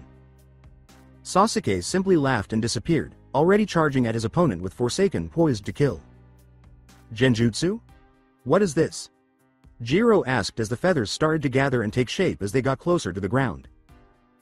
Before he knew it, ten images of Sasuke were surrounding him, all of them charging as soon as they formed and more were on their way. They were all holding weapons, ready to kill, and Jiro did the only thing that came to mind to save himself from this rapidly getting worse. Kai, release. The illusion vanished in an instant, along with the clones and ravens, revealing Sasuke only a few feet away, his weapon already in motion. A flash of silver that would have split Jiro had he not corkscrewed over the swing ended with Sasuke slamming his scythe into the ground and using it as bracing to nail a rib. Shattering kick to Jiro's chest, imagine what Zabuza did to Kakashi in the manga. The blow sent the Kumo. Nin hurtling, and Sasuke followed up with a downward swing that was just barely stopped by his gauntlets. Unfortunately, the force of the blow smashed Jiro into the ground, forcing him to cough up blood as he struggled for air, and Sasuke's boot pressing down on his chest, even with the lightning armor. You want to know how I wasn't even scratched by your lightning? If you are able to beat me, I'll tell you. As he swung his scythe once more, Sasuke laughed, his tone brimming with bloodlust. They were ninja. Honor didn't exist for them, even when they were attacking a helpless opponent who seemed ready to forfeit. As the blade dropped, Jiro's eyes grew wide. Shit. Hoden, discharge of electricity. A thick cloud of smoke engulfed the two competitors, concealing their conditions as the crowd erupted from the edge of their seats. Suddenly, the lightning armor exploded outwards, lighting the field in a burst of electricity that tore up the ground.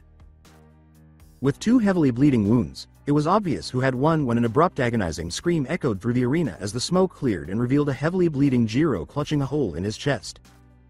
The Team Kumo. Nin was already swaying, a clear sign of his fading consciousness. With his clothes scorched and his arms left exposed, Sasuke stood across the field panting heavily, using Forsaken as support because the powerful technique's electrical charge had left his motor skills somewhat disoriented. I should have known you Kumo. Nin had some discharge technique with that nintaijutsu. Makes sense if you're in a sticky situation, Sasuke said, gesturing to Forsaken. Unfortunately for you, Jiro finally passed out from his wounds, and Sasuke grinned and said, I win. Venus. S-U-S-U-K-E Uchiha. With a triumphant expression, Sarutobi turned to face E and grinned, saying, I think you owe me 3S. Rank missions Raikage. Dono. I expect them by the end of the month. But I do think you ought to follow up with your pupil. He had some pretty serious wounds. The Raikage simply scoffed, showing no concern at all for his student. Jiro's defeat was only the result of blood loss and being outmatched. Both he and his brother had previously delivered much more severe beatings to Jiro and his allies, all without causing any skin damage. Jiro will recover in no time, but the next match is what interests me. I've heard rumors that Gaara is soon as Jinchuriki for Ichibi no Shukaku, 1. Tailed Shukaku. But how will he fare against Yugito? I'm sure Yugito has the upper hand in regular shinobi combat, but what about demonic? Which of them has greater control over their inner demon? Turning back to Sarutobi, he addressed the preceding query. Regarding the missions, I promise to deliver them to you within the next few days. He's planning something, Sarutobi thought, merely nodding his head in acknowledgement before turning back to the arena below. But not before he stole a quick peek at his betrayed pupil. The crowd erupted in celebration of Konoha's victory over Kumo, even though the fight had been fairly won. Sided from the start. After their warm up, Sasuke had destroyed Jiro with strong tactics, never once pausing to talk, as many shinobi regrettably have a tendency to do. He demonstrated to the judges his talent in all branches of shinobi combat, including genjutsu, taijutsu, and ninjutsu, all supported by well thought strategies and tactics. It was a spectacular fight, and the spectators could still see the fight's aftermath throughout the arena. Scorch marks from the flames and lightning, deep gouges in the walls from their battle that defied gravity, and even the feathers from Sasuke's area illusion, though they were black rather than white. The Nirvana technique, or Nehan Shoja no Jutsu, is a technique. The crowd felt a wave of drowsiness as different shinobi realized they were under a genjutsu. Before they knew it, all of the civilians and low level shinobi were in a deep sleep, totally unaware of the terrible battle that was about to happen.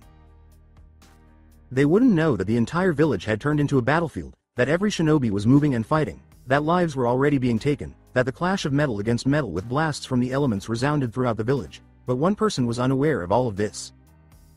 This one person failed to witness Gaara leap into the arena and crush three Chunin with his sand. They also missed the enormous fireball that was thrown at Gaara in return. They missed Kakashi and Sasuke charging up their Chidori, Thousand Birds, and shattering their targets' heads. They missed Sakura using her strength augmentation to crush an Oto. Nin's skull with one hand. They missed Haku sending Ice Senbon into her enemies' hearts. They also missed the enormous summons that materialized to the north or the flying black. Winged angels that entered the battle, wreaking havoc in their wake. No, was the unambiguous message for all Konoha shinobi. The invasion was underway. All thoughts, all senses, everything seemed to slow down and fade into the background, but then Naruto felt it, the very instant he had dispelled the genjutsu. A familiar spike of volatile and powerful chakra. A chakra so deadly that its very essence burned any unfortunate soul that touched it. A chakra that was familiar and something Naruto had sorely missed. Naruto never even noticed Nightmare and Ashbringer standing on either side of him. All he saw was the woman he had fallen in love with, the woman he had given up on, and the woman who, even now, despite his belief that he had actually gotten over her, pulled at his heart and soul, both of which cried out for her to accept and return his feelings.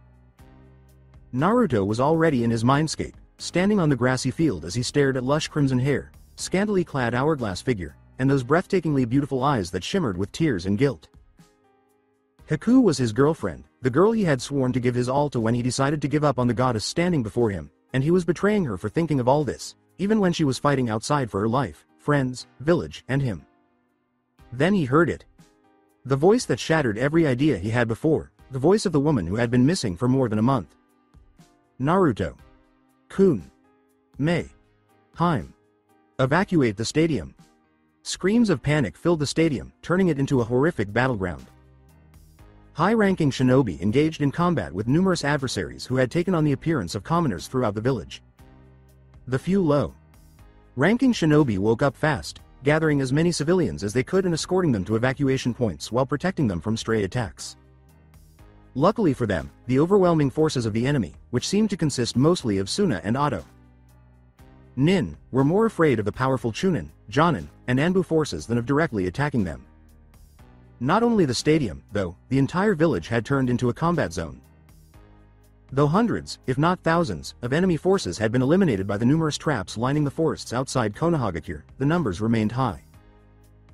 Even as the great gates of Konoha were broken down, allowing the first wave of invaders, comprising Tokubetsu Jonin and Chunin, to charge in, enemy infiltrators dressed as civilians had quickly used summoning scrolls to bring in whole squadrons of adversaries. There were battles going on all around, leaving behind weapons and evidence of ninjutsu, and enormous clouds of smoke rose above the village. Massive summons that swiftly started destroying everything in their immediate vicinity were revealed when these enormous plumes of smoke cleared. With the intention of saving their village from the perilous summons, Anbu and the elite Junins lunged forward. Numerous lives had already been lost in the battle, and it was horrifying to see so many corpses lying around the village. The three Kages had started an amazing battle that shook the stadium with their individual powers up on the stadium roof. 4 Oto Nins had summoned a barrier that prevented anyone from entering or leaving its boundaries, so it was impossible to tell who was fighting whom, though the Anbu who were nearby could see that two of the Kages were teaming up. If their suspicions were correct, that Orochimaru was really the Kazekage, then all they could do was hope the Raikage had taken their side. Swarms of low level demons appeared in the east, attacking, eating, and, in the unfortunate case of women, raping anything in sight. However, even as the battle raged on, deadlier forces were being awakened, and they were soon confronted by the deadliest unknown force of Konoha. Yugure, Twilight. The combined strength of two divisions quickly destroyed half of the demon swarm. One of the Yugure wearing black moved forward as the enemy forces withdrew in fear. We are Yuger's 7th and 8th Division, I am the captain of Division 7 and my name is meaningless to you filthy demons. The rest of Division 7 appeared beside their captain with swords slowly sliding back into their sheaths with a slight clink, HRYYAAHHH. The demons cried out as their bodies suddenly exploded with blood. Before the grotesque creatures could even bristle and take offense at the Twilight Captain's insult, it was Yuger's responsibility to eliminate any strange or extremely dangerous forces that might endanger Konoha or, in rare cases, the entire shinobi community. The demons never had a chance or even anticipated the attacks since they knew precisely how to dispatch these strange creatures. This is how the 7th Division defeated over 50 demons in a matter of seconds. This was Yuger's power, Twilight's power, and woe be to those who dared challenge them. 1 Red. Haired shinobi in the stadium lost it as the bodies piled up and the blood started to pool. The sight of so much blood was breathtakingly gorgeous. He was called upon by the abundance of that magnificent liquid that gave life. Mom desired everything. He desired everything. Gaara had leapt into the arena before anyone could react, landing on an unsuspecting Junin who instantly turned to sand as the moisture was forced out of his body. A group of charging Chunin were impaled by the gray sand that had once been a proud Konoha shinobi with a single-hand seal. Gaara heard their screams as blood flowed from their wounds, covering the sand skewers holding them. It hurt because of the sand itself as much as the fact that they were impaled. It had gnawed its way into their bodies, spreading inside to inflict more agonizing harm. Certainly. Please give me your blood. Mother is starving, mother want your blood. Gaara cried out, his eyes taking on a crazed, insane expression. Sabaku Kyu, sand binding coffin. Suddenly, the sand burst and encased the three Chunin in a tight prison. With a menacing smirk, Gaara balled his fist and ignored their cries for assistance. Sabaku Soso, Sand Waterfall Funeral. Gaara turned and faced the stadium full of shinobi engaged in combat as the sand suddenly burst, splattering blood all over the place. Who's next? Come. I will feed you all to mother. Gaara's challenge was swiftly met with the death of five Chunin by the dozens of sand tendrils that slashed out at any unlucky shinobi within range, no matter which side they belonged to. As more and more Konoha shinobi emerged to confront the unsteady Jinchuriki, they were crushed or flattened by the one. Tailed Shukaku's arms made of sand with blue veins. At the touch of the Jinchuriki, any shinobi unlucky enough to avoid Gaara's sand were withered away. Anbu destroyed an enemy with a fire technique, yelling, Stop him. Focus your attacks and take him down. After defeating their opponents, three dozen Konoha shinobi united in strength, realizing that their individual efforts were futile, and focused their attacks on the furious Jinchuriki. Hundreds of kunai, shuriken, and fire techniques were launched toward Gaara, who simply laughed as his shielding sand negated their attack despite the obvious danger. Weak. You're all so weak. Gaara exclaimed as the earth in front of him abruptly broke apart into a jagged line. Spreading apart into the one. Tailed Shukaku's open mouth, both ends rose a hundred feet into the air. Suddenly, the two sides slammed together, swallowing everything and everyone who was unlucky enough to be present. With a menacing smile on her face, Gaara touched the ground, trapping hundreds of shinobi and an entire section of the stadium inside Shukaku's mouth. Their cries went unheeded, Mesa Bakuso, ruining sand waterfall burial. Shukaku's face compressed so intensely that everything inside was instantly crushed to nothing as the region plunged dozens of feet into the ground. Sand was all that was left. Yes. Prove my existence. This was his desire. He was happy and his mother was happy. How tasty the blood is. The agonized screams. It was truly amazing. Gaara looked around, roaring angrily at the lack of victims, but then there was silence. He required additional blood. More demise. With the idea that he needed more, the Jinchuriki raced through the stadium's damaged area, determined to quench his bloodlust. Sand claws shot up from the earth, crushing even bystanders who were fleeing Gaara's carnage until Katon. Goenka no Jutsu, Fire Release, Great Flame Flower Technique. Suddenly, six enormous fireballs descended onto the ground where Gaara stood, destroying any unlucky shinobi in the blast. Gaara was staring at the person who had dared to attack him when the entire area burst into flames, shattering the thin layer of glass that had formed from the intense heat and turning all nearby buildings to ash. The attacker or attackers could only scowl at the sight of a sphere of sand that had shielded the Jinchuriki from harm. Sand started to crawl up his left side, forming armor that reminded him uncannily of the Shukaku. He narrowed his eyes. You. Yes, me. Let's try that again, the assailant exclaimed, blending in with the seals. Katon. Goenka no Jutsu, Fire Release, Great Flame Flower Technique. Sakura and Kakashi, accompanied by Zabuza, Haku, and a Jonin named Aoba, were tearing through the invading forces in a different part of the stadium while attempting to defend Naruto, who hadn't moved since the invasion began. Sasuke had left right away for the south, claiming to have corrupted souls, so they had no idea where he was. Sakura's rage was further heightened by the fact that she was unable to employ a large portion of her extensive ninjutsu skill set, mostly fire techniques, because Reiko now had that elemental talisman. With only one element available due to the lack of nearby water sources and her inexperience with earth techniques, she became irritated. Her other available elements were lightning, earth, and water. Sakura naturally had a lot of lovely things to say about Naruto's perfect timing as a result of this. You stupid idiot. You fucking moron. What are you doing? Of all the half. Asked times to enter your mindscape, you pick now. Why are my best friends always scatter? Brained. At least Ino had an excuse because of her bloodline techniques, but you don't. And you knew about the invasion so why did you go into your mindscape? Sakura screamed as she kicked to fingertips. She was deflecting the projectiles away from herself and her allies with her magnetism techniques. It goes without saying that her skills were terrifying both her allies and her opponents. The Pinkette, her hand cackling with purple electricity, gestured at a group of charging shinobi as she turned over a couple hand seals. Raiton. Jiki. Uragiri, lightning release, magnetism, betrayal. As their blades shot backwards and stabbed their one. Time wielders, the opposing shinobi let out a sudden cry. Their stunned expressions would never fade as Kakashi used his lightning chain attack to finish them off. The silver. Haired Junin looked back at his student and said, Naruto knows how critical the situation is. Whatever the issue may be, he'll be back soon. He then threw three Oto. Nin shuriken at them. Sadly, two of the Oto. Nins managed to deflect the shots, and Kakashi was soon fighting hand. 2.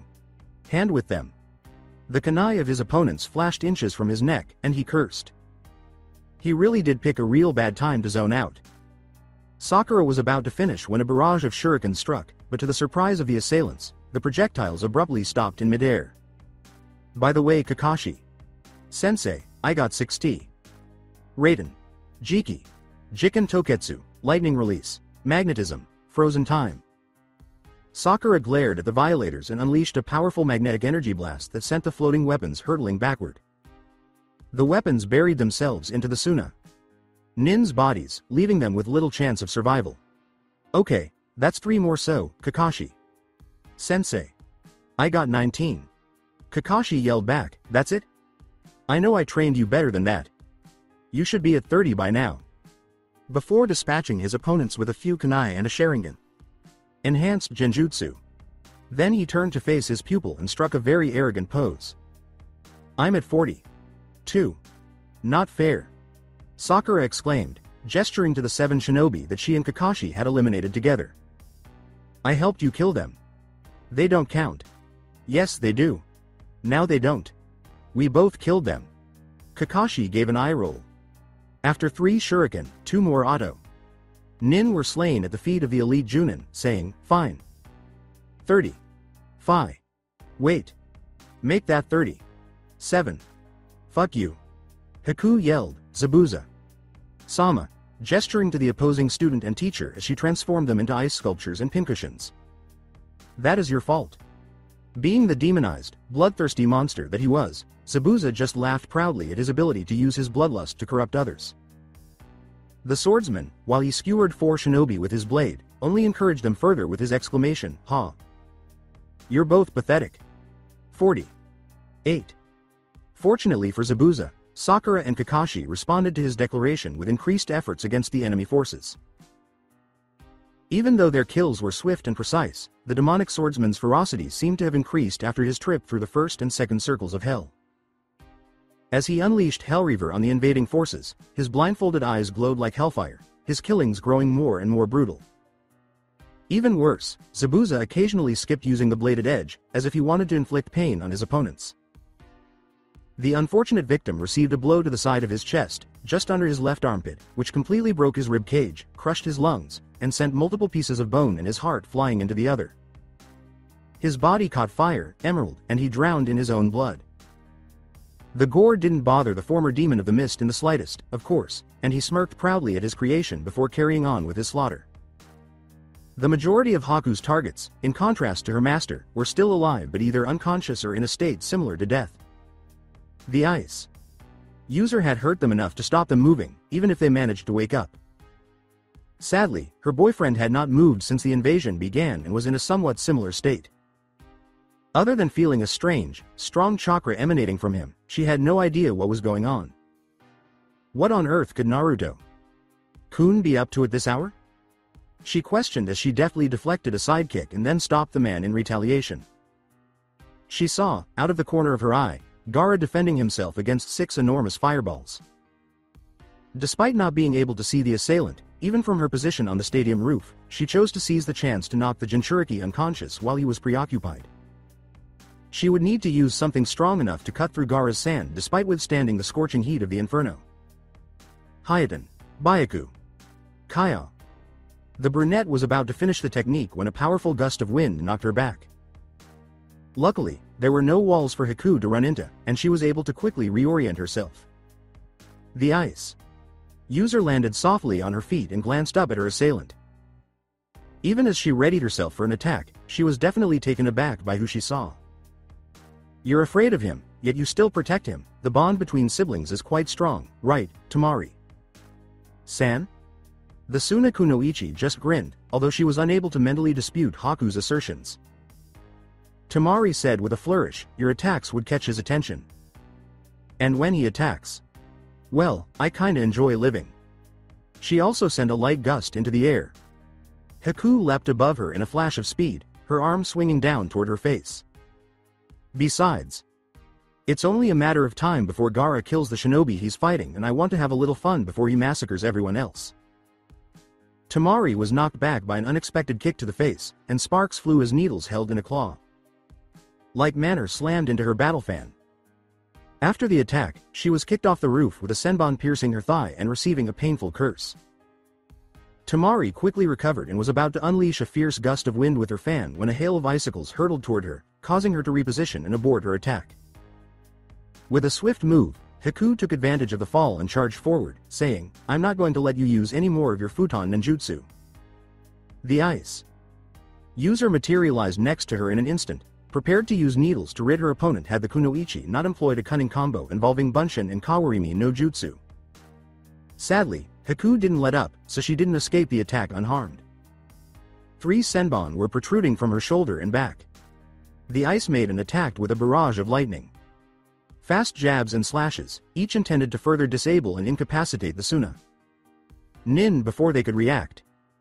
With her fan reinforced with chakra, Temari was forced to backpedal clumsily, barely able to defend herself. For Temari, it was the worst possible matchup. Unlike the fan, Wielding Kunoichi, whose area ninjutsu required build. Uptime, the Ice Maiden specialized in speed and precision. Additionally, every time she attempted a technique, she betrayed her intentions by using such a large battle fan, giving Haku all the warnings she needed to avoid or, in this case, outright attack and stop her movements. It's not how I fight. Temari swore in her head. She was too slow to parry Haku's blows more than once, and before long, she had small cuts all over her arms, sides, and legs. Her ability to fight back was diminished with each wound, and she was barely managing the increasing pain. Temari roared, damn it. Get away from me. And pushed on her makeshift shield, surprising Haku and giving the Suna. Nin enough time to use ninjutsu. Daikamaitachi no Jutsu, Great Sickle Weasel Technique. Exclaimed the blonde as she watched with satisfaction as Haku was blasted backward by a powerful blast of slicing air currents, sending her with bone. Jarring force crashing into a nearby building. As she fell to the ground, the Ice Maiden let out a cry from the impact, already experiencing pain from her broken ribs, and her body broke apart into ice. Temari's gaze expanded. Shit. Bunshin. However, it was a nice try, a voice behind her remarked. Temari turned and hit the air with her fan. Whoa, where's she at? So that's how you want to play this? You underestimate me. Exclaimed the blonde Kunoichi, swinging her fan around and taking advantage of the opportunity to build up chakra and air for one of her best moves as a dense mist descended over the area, obstructing Temari's vision. In an attempt to stop her, dozens of ice senbon shot out in all directions, only to shatter against the vortex that now swirled protectively around her. The heat from the surrounding fires, the mist in the air, and the wind created by her fan all rose into the sky above them, all expertly controlled by the blonde. Afterwards, the clouds darkened, turning into storm clouds. Haku observed the gathering clouds overhead as they grew larger from her hiding place.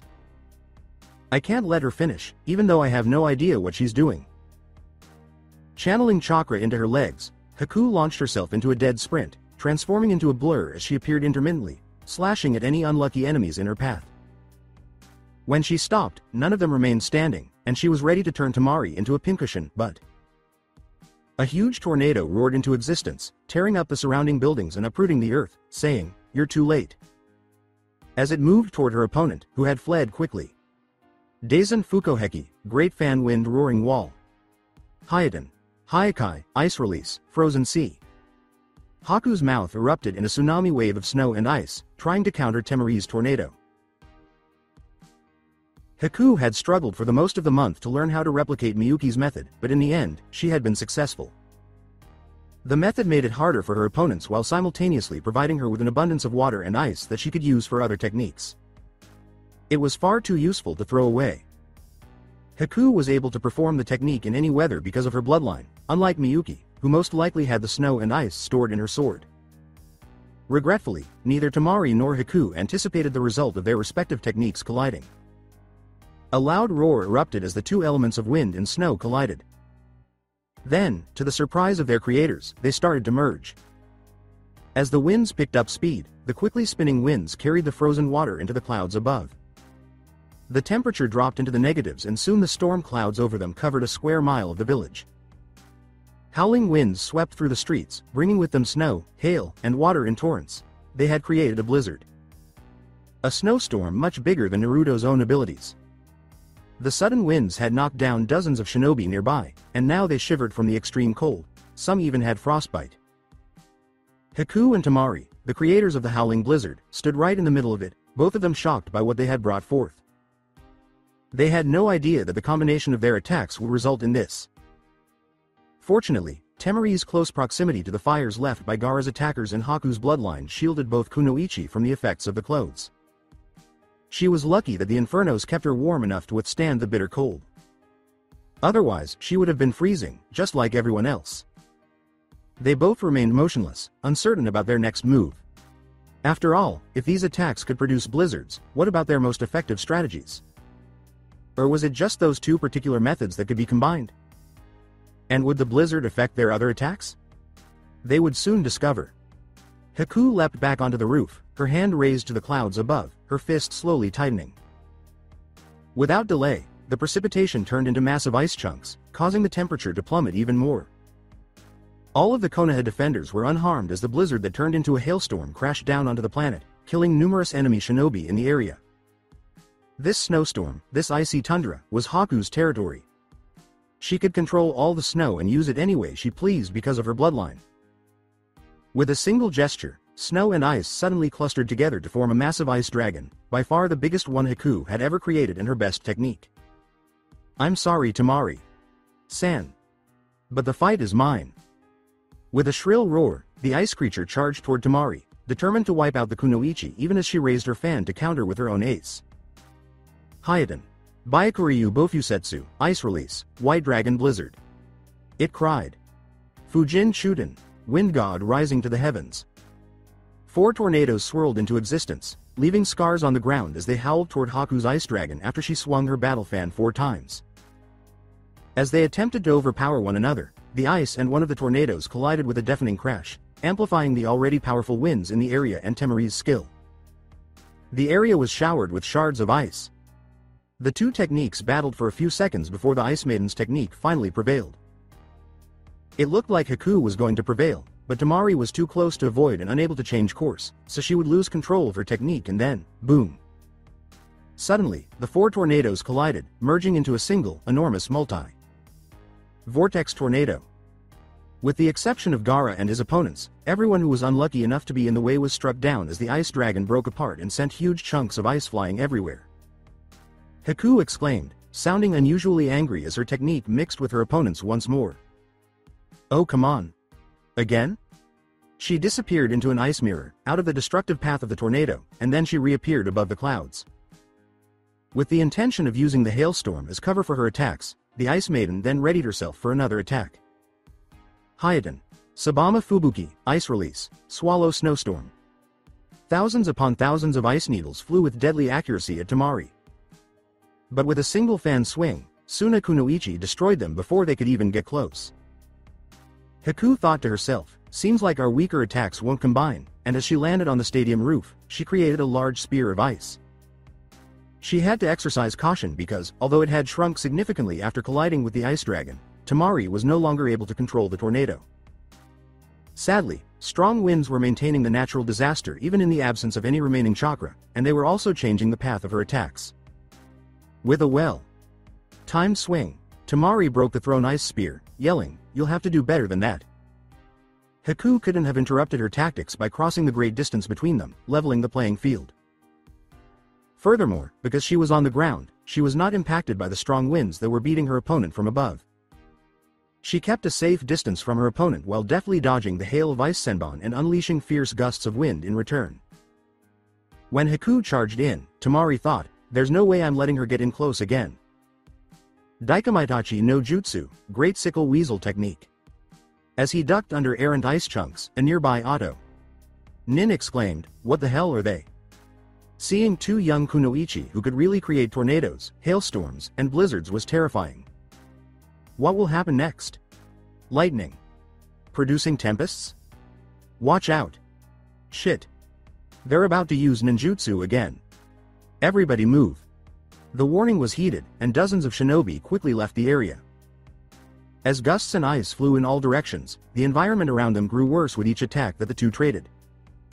All the buildings in the area were being destroyed by tornadoes, and several feet of snow and ice had now fallen on the ground. To Haku's surprise, the three stars that were blazing on the battle fans suddenly started glowing with cackling blue electricity, saying, time to change things up a bit. Didn't think I could use another element, huh? Temari chuckled, observing the shock and alarm on her opponent's face. I can't blame you for being surprised. A wind element with lightning element techniques, I'm one of the few shinobi out there with opposing elemental affinities. Since your ice and my wind keep combining, I figured it's time I tried a different approach. Raiton. Kyuden, lightning release, ball lightning. Wait. Don't. However, it was already too late. With each stroke of Temari's fan, three little orbs of lightning shot toward Haku. Haku and Temari quickly sought cover as the sky burst into lightning, sending bolts of lightning smashing into the earth with terrifying force. The Ice Maiden easily avoided the attacks and could only watch in horror as the electricity entered the storm clouds above. Sparks of thousands of volts struck any shinobi that had survived the hailstorm and blizzard. Haku, who had totally lost her cool, yelled, damn it. What did you that for? Temari took cover and could only stare fearfully up at the lit sky. I didn't know this would happen. You didn't know this was going to happen? You sent electricity into storm clouds. Well sorry, it's too late for that. Haku yelled as he avoided another lightning strike and hastily formed an icicle to launch it towards Temari, who countered with yet another gust of wind. Damn it. Stop using techniques to counter. Do you want to make this storm worse? Just dodge it. One Konoha. Nin exclaimed, who the fuck are these people? As the sound of electrocutions filled the air, the Junin swiftly sought cover in a nearby structure while he observed the two Kunoichi who were able to unleash natural disasters continue their battle and wreak havoc throughout the surrounding area. No one was safe while these two girls fought for their countries. Waves of snow crashed toward the streets only to be blown into tornadoes or hurricanes by gusts of wind. Lightning struck the earth with terrifying force. Blizzards and below. Freezing temperatures caused anyone unlucky enough to be in the area to freeze and die. From his position as his student's hostage, Sarutobi sighed, Orochimaru. I knew it was you. Four Jonin had formed a barrier that trapped them in the Raikage and Sarutobi mentioned that he, the powerful, dark, skinned shinobi, was in a similar predicament. Two obviously formidable shinobi were his captor, or captors, in this case. One was a sick looking man who had a bone knife clamped around I's throat. His ties to the Kaguya clan were indicated by his green eyes, white hair, and red dots. The other person was a tall man with orange hair, but there was something genuinely unsettling about him. Despite having a portion of his body covered in dark gray, including the mutated right arm that was holding the Raikage in its massive grasp, he was laughing hysterically. My apologies for your unfortunate predicament Raikage. Dono, I wasn't sure where your allegiance lied in this invasion. Though enraged by the circumstances, he could find no fault with the senior Hokage. The Raikage might have accepted and taken part in the invasion if it had been any other country, but Kumo and Konoha had a shaky relationship. But because of Orochimaru's horrific crimes, which included kidnapping and killing thousands of civilians and shinobi for scientific experiments or just plain fun, he firmly sided with the Hokage and was prepared to stop Orochimaru at any chance. We are shinobi Sarutobi, I cannot blame you for your precautions. I only wish we weren't in such a predicament. With a nod of acknowledgement, Sarutobi returned his focus to his erstwhile pupil. To think you've fallen so far, Orochimaru, you were a Sannin of Konoha and respected throughout the village. And yet now, you seek to destroy it. What for? Orochimaru gave a chuckle. He turned to face the Sandaime Hokage, not in the slightest bit worried about being attacked by his hostages. What do you think Sarutobi? Sensei? My ambition, Imagine how different things would be had you simply let me continue my research. But none of you understood the genius behind my work. He exclaimed. Imagine, immortality. My experiments led us closer to perfection than anyone could ever hope to achieve. Konoha could have been invincible. And I. I would have been their leader. Their benefactor to true power. Again with that foolish goal. Do you still not understand that one could never be immortal in this world? He exclaimed, ripping off his robes to reveal armor resembling Yuger's with a black face. Guard resembling the Nidaime Hokage and a red leaf insignia. Because of your ridiculous pursuit, thousands of lives have been lost under your experiments, and now, you seek to destroy the very country that once held you dear. And for what? Revenge? You cannot crush Konoha nor will the Hi no Ishi, will fire, ever be extinguished. Orochimaru ridiculed, taking off his Kazekage disguise entirely. Ku are you truly so naive sensei? The god of shinobi. The professor. Despite your titles, you are nothing but an old fool leading a broken village at the end of its pathetic existence, he said. With a gesture towards his two subordinates, the Raikage was freed and leapt to Sarutobi's side right away. I will not only crush you, but I'll make sure to destroy every single one of Konoha's citizens. Their lives, the lives of all your shinobi and civilian will be exterminated, Know that it was your failure that led to Konoha's destruction sensei. Such hatred is unbecoming of you Orochimaru, it will get you nowhere. Spoken like a true senile old man. Do you truly not understand sensei? This is more than simple hatred, this village shunned my work. I was striving for immortality. To ensure that the lives of Konoha would never fall. It would grant us the ability to master every technique ever created, learn every secret the world holds, we'd be invincible. But still, they scorned my work. And for that, they will reap the consequences of their actions, complete obliteration. Not just by my hand but by my associates. True devils of the abyss, fallen angels. A cruel smirk formed across Orochimaru's pale face upon seeing the Hokage's startled reaction to the Daidenshi. But, since I've taken a sideline perspective, I can see all of Konoha's crimes. Do you not think that my actions would be doing the shinobi world a justice? I've seen your tears for the Jinchuriki, the very people of this village attacking a helpless child for merely having something thrust into him at birth shows the value of this so. Called Honorable Village. Oh, and did I forget to mention that the one suffering the abuse is the Yondaime's son? Even with that delicious power he now holds with his teammates, the village continues to scorn him. Minato would be disappointed. Don't you dare continue Orochimaru. Do you think I am ignorant to the misdeeds of my village's people? Do you think I feel no remorse at the pain Naruto must suffer for saving our village? Sarutobi pleaded. His eyes were blazing with rage, and the surrounding area could almost feel the weight of his imminent murderous intent. A chilling chill ran down the spines of everyone who saw the elderly man who was genuinely radiating chakra and loved peace. The amount of raw chakra his fellow Kage possessed surprised even the Raikage. Raikage. Dono, unfortunately, I must ask you to fight Orochimaru's subordinates. I must be the one to kill my former student. E gave a nod. We will be having a serious talk after this is over Sarutobi. But for now, I will comply with your request, just be sure to land a few hits for me. He's killed hundreds of my shinobi. Sarutobi grinned. Do not fret my friend, I will make sure he pays the price of his crimes a hundredfold. Foolish, you think you can defeat me sensei? You're nothing more than prey, I will destroy you in this pathetic village. And as for the Raikage, Orochimaru looked at the man with a dark complexion. My deepest apologies for not introducing your captors, Raikage. Dono, please welcome two of my strongest subordinates, Tenbin no Jugo, Jugo of the Scales, and Kimimaro Kaguya. The two Oto. Nins had been using their enhanced abilities from the Curse Seal to keep the Raikage on edge, and they had quickly engaged E in close combat. The two Jonin were on level with E's own elite shinobi, possessing the ideal blend of raw power and fast speeds. The Raikage sufficiently distracted, Orochimaru turned to confront his old sensei. Now Sarutobi. Sensei, shall we? It's time I destroy the backwash village Minato gave his life and son for. With rage, Sarutobi yelled, Orochimaru. The Hokage unleashed his fury, forming and finishing full seal sequences in less than a second. The symbols of a massive pocket dimension Fuinjutsu suddenly glowed around Orochimaru, courtesy of Jiraiya making sure his own ninjutsu didn't damage the building.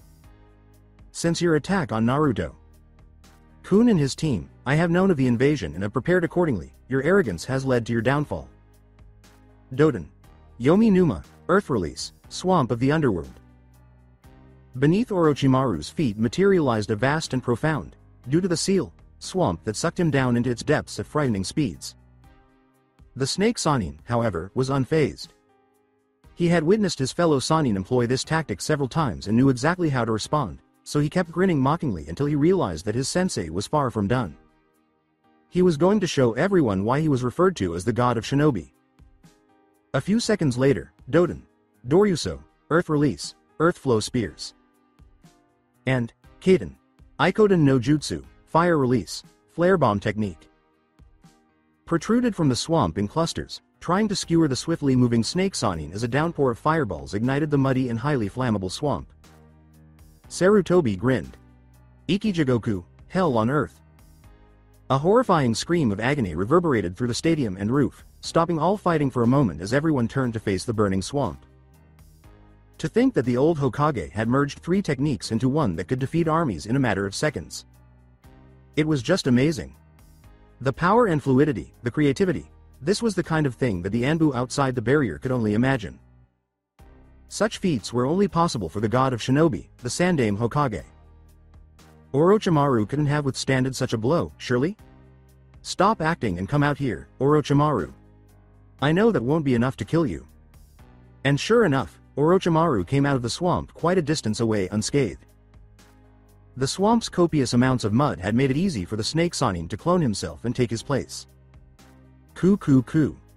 Not bad Sarutobi. Sensei. Your skills remain quite impressive despite your senility. Now it's my turn. Orochimaru's unusually long tongue abruptly changed into a snake and lunged toward the elderly Hokage. Before the flames reached Sarutobi, they were swiftly destroyed by his flamethrower, causing the snake Sannin to build an earth wall or risk being completely burned alive. The shield appeared to be holding at first, but Orochimaru soon realized that the attack would likely break through in a matter of seconds as the heat began to rise. He swiftly used substitution to escape, realizing that time was of the essence, and charged his sensei. Eventually, the two fighters collided in a fierce taijutsu battle, unleashing dozens of blows with strength and speed that would have stunned Guy and Lee into a youthful embrace.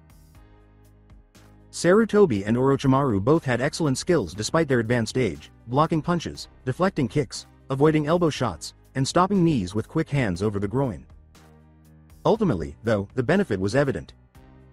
With Orochimaru's greater speed and endurance, Sarutobi soon found himself clenching his teeth in agony after taking a stinging blow to the kidneys. Orochimaru delivered a powerful uppercut and landed a dozen more punches before he could react. Orochimaru drew a kunai and it swung toward the Hokage's neck as he fell back. Sarutobi shot out with another kunai, barely managing to raise his own to block. I found it quite satisfying when the blade made contact. Cursing, Orochimaru had to retreat when his opponent vanished in a flash of lightning. Although the injury was minor, barely more than a scratch, it was unacceptable that his sensei had been hit. Sen'ei Jashu, Hidden Shadow Snake Hands. Orochimaru's tongue changed back into a snake and clamped down on Sarutobi's neck, pumping the elderly Hokage's body with deadly venom. It was almost palpable how satisfied the betrayed shinobi was to see this, until the body abruptly collapsed into mud. The snake Sannin muttered, replacement. Orochimaru, Sarutobi uttered, stepping in front of his pupil. The snake Sannin ignored his seeming weakness and bided his time until his former master had the opportunity to speak. You wish to obtain through immortality the ability to master every technique, yet how will you accomplish this when there are dozens of new techniques created every generation? Konoha has recently obtained the skills of a true developer of techniques and has gifted the shinobi with his work. Now, allow me to show you the gifts of Konoha's creator. The earth and mud started to form. The snake Sannin watched the technique develop, completely taken aback as the figure grew larger and larger. Doton. Ganso no Jutsu. Shimi. Earth Release. Rock Formation Technique. Mountain Demon. This golem's features were much more defined than Sakura's. The rock structure had a mostly humanoid appearance and teeth and horns that protruded from different parts of its body like spikes. When it was finished being created, Sarutobi raised his hands in a single seal and grinned.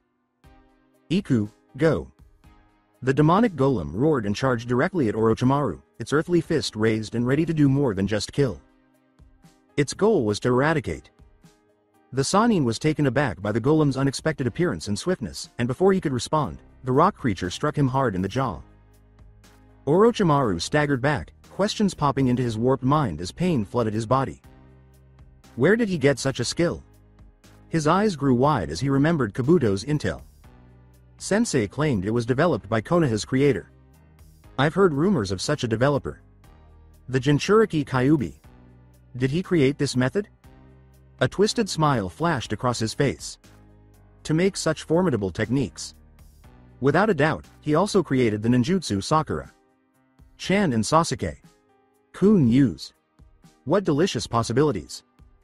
Because of the invasion, he hadn't had a chance to see Naruto's recent advancements, but the snake Sannin had every intention of finding him later.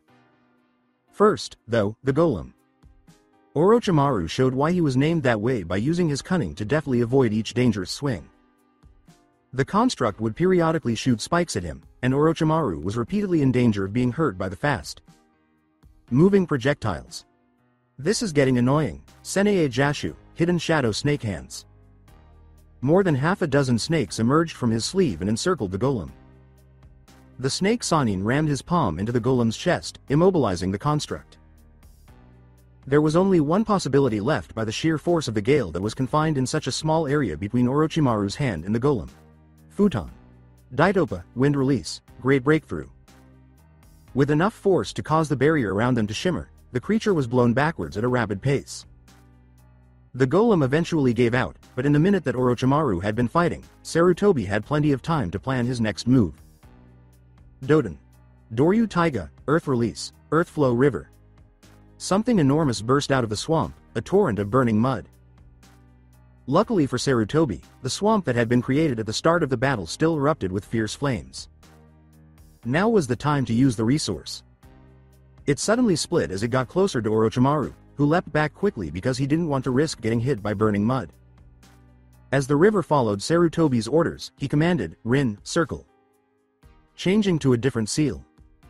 After completing its circuit, it turned into a light bulb and headed back to the swamp, where the Sandaime stood at the lone opening. With a wry smile on his face, Orochimaru turned to face his sensei, now encircled by a river of gushing mud that was ablaze. Do you truly believe this can contain me Sarutobi? Sensei? He smiled back at her. Blurring through seals, Sarutobi performed his technique. Always short. Sided. You never were able to grasp the finer executions of ninjutsu. Allow me to show you what the professor can do.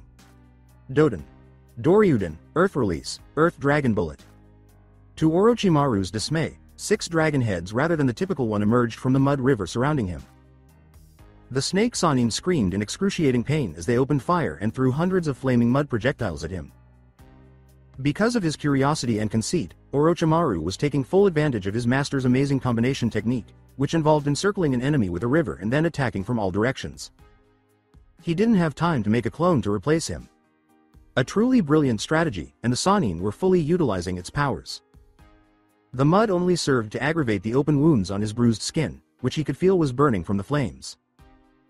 The attack stopped after what seemed like an eternity but was really only a minute, leaving Orochimaru burned, bruised, and covered in blood. It was an ugly sight. I see you live up to your name Sarutobi, Upon turning, the Sandaime saw a bloodied Raikage covered in his lightning release armor.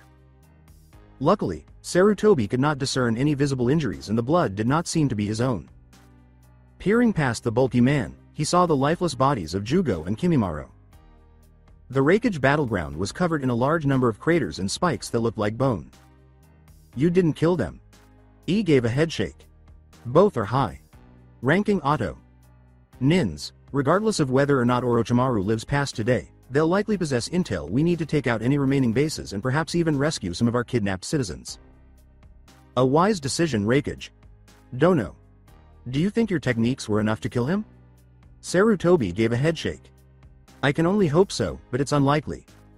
Orochimaru has always been a resilient one. A ferocious roar forced the two Kages focus back on their adversary. Opening his mouth wide, the snake Sannin displeased Sarutobi, E, the Anbu, and pretty much everyone else in sight when a distinct Orochimaru emerged from his mouth, slithering out of a snake. Like skin. The new Orochimaru stood before them, saliva and what looked like some sort of chemical dripping off its body, causing the original skin to go slack. The Sannin were ready, able, and full of rage because every wound they had previously caused had vanished. His face betrayed the deep hatred he felt for Konoha and its Hokage. Orochimaru then turned to face his teacher again, his expression grimacing, you defeated my henchman. And with such ease. I underestimated your power Raikage. Dono. As for you Sarutobi. Sensei, did you truly think your techniques would be enough to defeat me? You were badly injured and had I moved sooner, you would be dead now. Yes, perhaps, but you didn't. You were expecting that last attack to finish me. I was optimistic, he said. Coo coo coo. Yes, even I'll admit it was a good attempt. Why thank you. The mocking tone of Sarutobi made Orochimaru laugh. Now tell me about that technique. You said it was the creator who developed it, it's Naruto. Kun, am I right? Though Sarutobi did not reply, the answer was still obvious. Ku ku ku. This is amazing news. With such skill in crafting ninjutsu and having the fabled bloodline of angels, Naruto the Angel of Death, exclaimed Sannin as the two Kages were drawn outside by a golden-white light that suddenly burst into the sky. Upon their arrival, they were met with a plethora of enormous summons, an immense blizzard charged with lightning, enormous waves of sand crashing into red and blue flames, and a brilliant white light clashing with a black light overhead. It goes without saying that the fight was amazing. Yes, just look at that power. Going head. 2. Head with the Daidenshi. It may not be Yami. Sama, but to be able to fight on par with any member of that fearsome clan is a feat of its own. With pride, Sarutobi watched his surrogate grandson battle with all of his might. Naruto. Kun along with every other shinobi in Konoha bear the Hi no Ishi will fire. That is how he is able to go up against the Daidenshi and that is why you will lose here today, he exclaimed. Spoken like a true senile old man. Even if I am, this senile old man has been dominating our battle since its beginning. The insult made Orochimaru frown. Not anymore, the pale shinobi said with a sly sneer.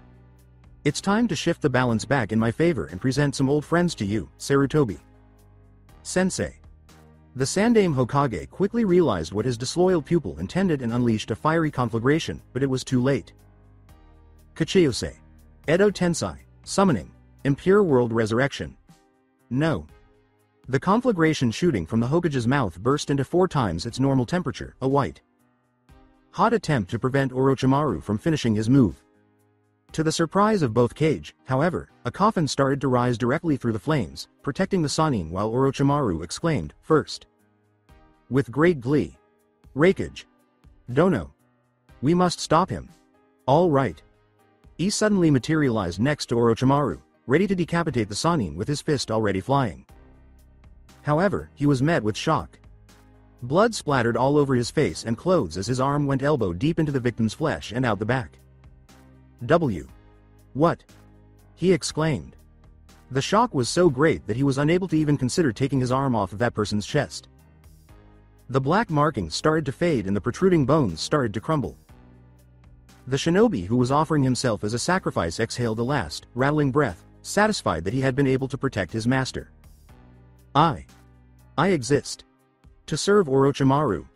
Sama, he said, leaving everyone stunned. There were looks of astonishment and surprise on the faces of the Oto. Nins manning the barrier. Orochimaru yelled, Ku ku ku ha ha ha ha. Yes. You were a wonderful subordinate Kimimaro. As the man slid off E's arm and onto the ground. With a single swipe of his blade, Orochimaru forced the Raikage to back off by pulling out Kusanagi. Thanks to you, the second has risen. Luckily for Sarutobi and E, the undead summoning ended there. The next coffin refused to rise, even with Orochimaru's best efforts, but it didn't matter. The snake Sannin had the advantage once more. Orochimaru's sly smile widened as the coffin lids fell forward, revealing its contents, the undead forms of the Shodai and Nidaime Hokage. With this, his wish to see Konoha burn would come true. For the Snake Sannin, it was such a moment of victory, sweet retaliation, and satisfaction that someone had to give him the one technique he feared the most. Rasengan, Spiraling Sphere. The now. Shrieking Snake Sannin was struck in the torso by a blue orb of swirling chakra that had the force of a hurricane.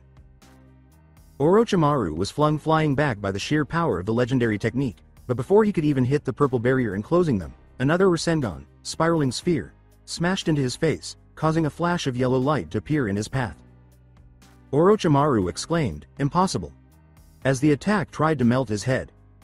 Half a second after the second Rasengan connected, Orochimaru used his body. Shedding technique, only made possible by pure luck and years of finely tuned reflexes. Even though he sustained some injuries from being part of the attack during his escape, he was in much better shape than he had been previously.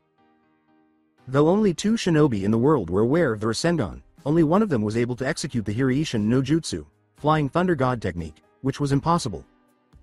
His mind was reeling from what he had just witnessed. He had passed away. Minato has passed away. In order to seal the Kyuubi within his son, he gave his life. Therefore, how, how did you use those techniques? The two legendary techniques of the Yondaime Hokage, who are you? The man with the black hood grinned behind his face covering. He rose to his full height, his left hand drawing a try. Pronged kunai, his right hand forming a Rasengan. With his hood pulled back, his fiery golden hair and deep blue eyes gleamed, leaving all but Sarutobi standing there in stunned disbelief. With a, sorry for the wait, old man, the enigmatic shinobi turned to confront Orochimaru and his summons of the undead. Hello there. My name is Yugure Commander, and I am the captain of Division 1 and the leader of Konoha's Yugure, Twilight. Orochimaru instantly found himself once more suffering at the hands of Yugure Commander's drilling force. Is Minato Namikaze? Even as Sakura buried a kunai into the skull of an Oto. Nin, she joyfully exclaimed, Naruto. You're back. Next, a tick mark emerged on the Pinkette's huge forehead as she pulled her teammate closer by grabbing him by the jacket. What the fuck were you doing in your mindscape? You knew about the invasion and yet you suddenly zoned out. I should beat you into the next center. The pinkhead was rendered speechless and immobile as soon as Naruto locked eyes with her. The sapphire orbs held her gaze. His eyes were starting to glow white with the signs of Naruto's bloodline, and there was a gleam of pure determination and warmth around a sea of sadness.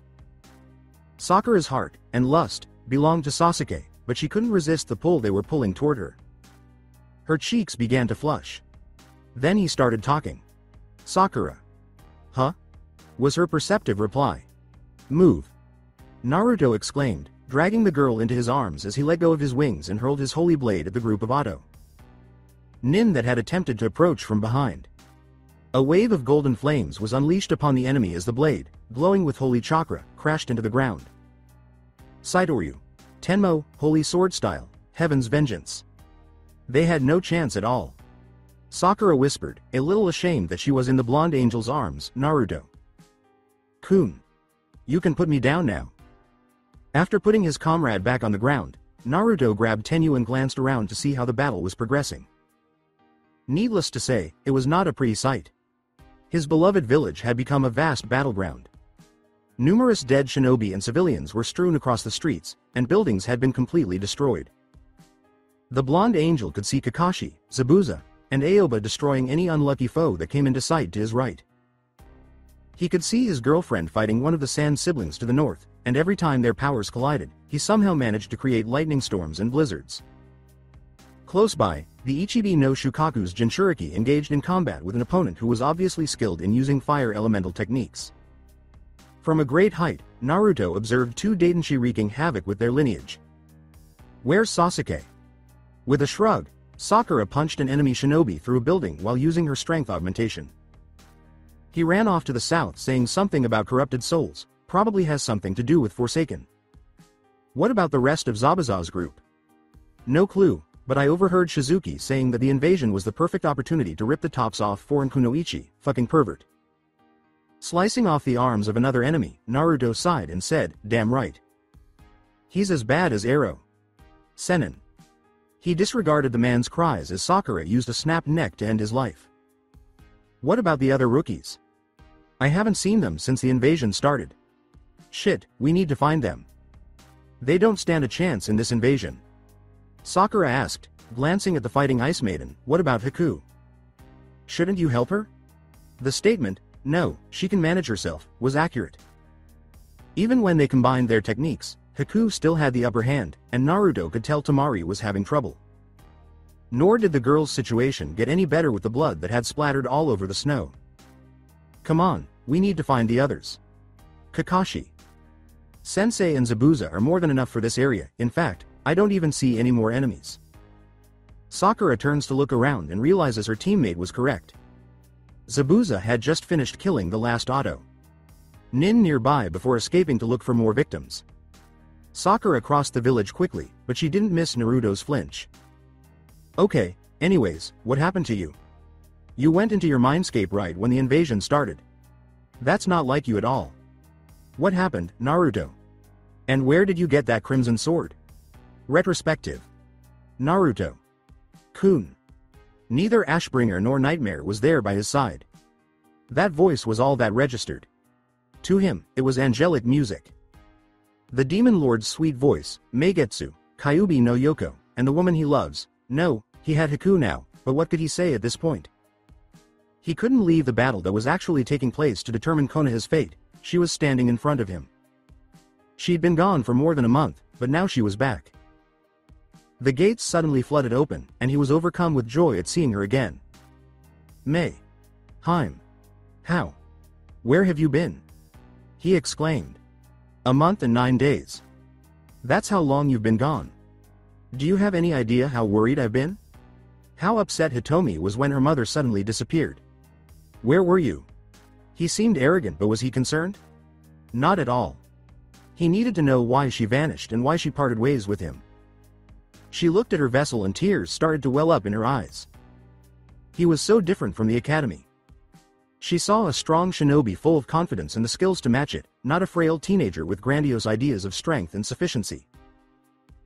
She was aware that the stress and chakra of shinobi caused accelerated growth, and that this effect was amplified in Naruto, who was only 14, by the regenerative powers Meigetsu bestowed upon her vessel, giving him a 16 year old body.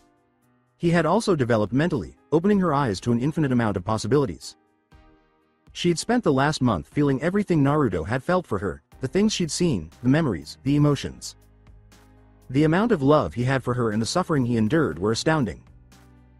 It was unbelievable, every moment of excruciating pain, every glimmer of unadulterated joy, all of it because of her, the Biju who has been the target of scorn and hatred for the past 12 years. How was she supposed to say, I? Naruto. Kun. Her deep well of sorrow and remorse was calling out to him. Only he could quiet the tempest. I'm so sorry Naruto. Kun, I should have known how you felt. How did he feel? What topic was she discussing? She seemed to know. No, how did you know? Ashbringer stepped up to explain when he noticed that Meigetsu was too emotional to reply. She gestured to the vast forest behind her, saying, Naruto. Kun. When you changed your mindscape into this land, you also changed how you store certain memories and emotions. Simply put, each of the trees represents an emotion in regards to an event or person. In this case, a cherry blossom tree would represent love, and Meigetsu discovered the one that expressed your feelings for her. By connecting herself to it, she was exposed to every memory, feeling, and thought you've ever had for her. When Naruto heard this, his heart fell. She is aware of it. This was not intended to occur. He was content with his decision to let go of his feelings for Haku. He was left alone by Meigetsu, who also violated his privacy. Additionally, there remained the issue of her partner, Shizaru. Meigetsu was still devoted to someone else, even if he did allow himself to be carried away by his emotions. It doesn't matter Mei. Heim, there's no need to apologize. How could he say it that way? B. But. Meigetsu was a demon, yet she was aware of the pleasures and sorrows of love. How much had Naruto suffered because of his feelings for her? She knew. How could he brush her off and forgive her with such ease? Mei. Heim, you have Shizaru and I now have a girlfriend. There's no need for you to apologize. I shouldn't have fallen for you and even though I'm still in love with you, I'm also in love with Haku. Chan. This works out for both of us. Naruto said with a grin, even though his voice tight. You don't have to worry about my feelings anymore and I can fulfill my promise of reuniting you with Shizaru. I'm happy with Haku. Chan. Meigetsu muttered, I. Naruto. Kun. She was aware that although Naruto had told the truth in most of his statements, he had also lied. Despite his developing feelings for Haku, Naruto still loved her and would always hold a special place in his heart. And, to tell it straight, he had a piece of hers as well. But. You're right Naruto. Kun. This is for the best. Sarcastically, Naruto nodded his head. He couldn't break, nor would he. But before you leave, just so we can both understand what it's like, Meigetsu said as she walked up to her vessel, her stunning red eyes penetrating his very heart and soul. She threw her arms around the teenager and pressed her whole body against his. She sensed that he was returning the favor by encircling her body with his arms firmly and drawing her in. They both enjoyed the intimacy. It was blissful, warm, consoling, and made their hearts sing. He was aware of her next move, and he instinctively knew he had to put an end to it. Mei. Heim, I don't think.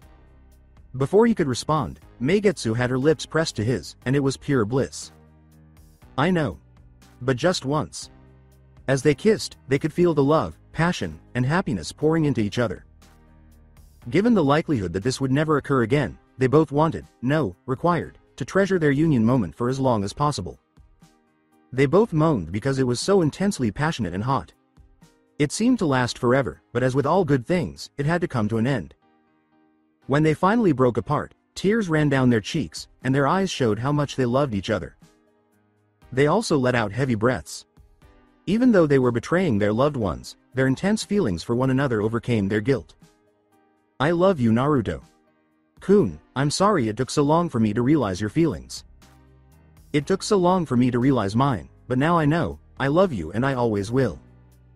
The tears kept falling. Me too Mei. Heim.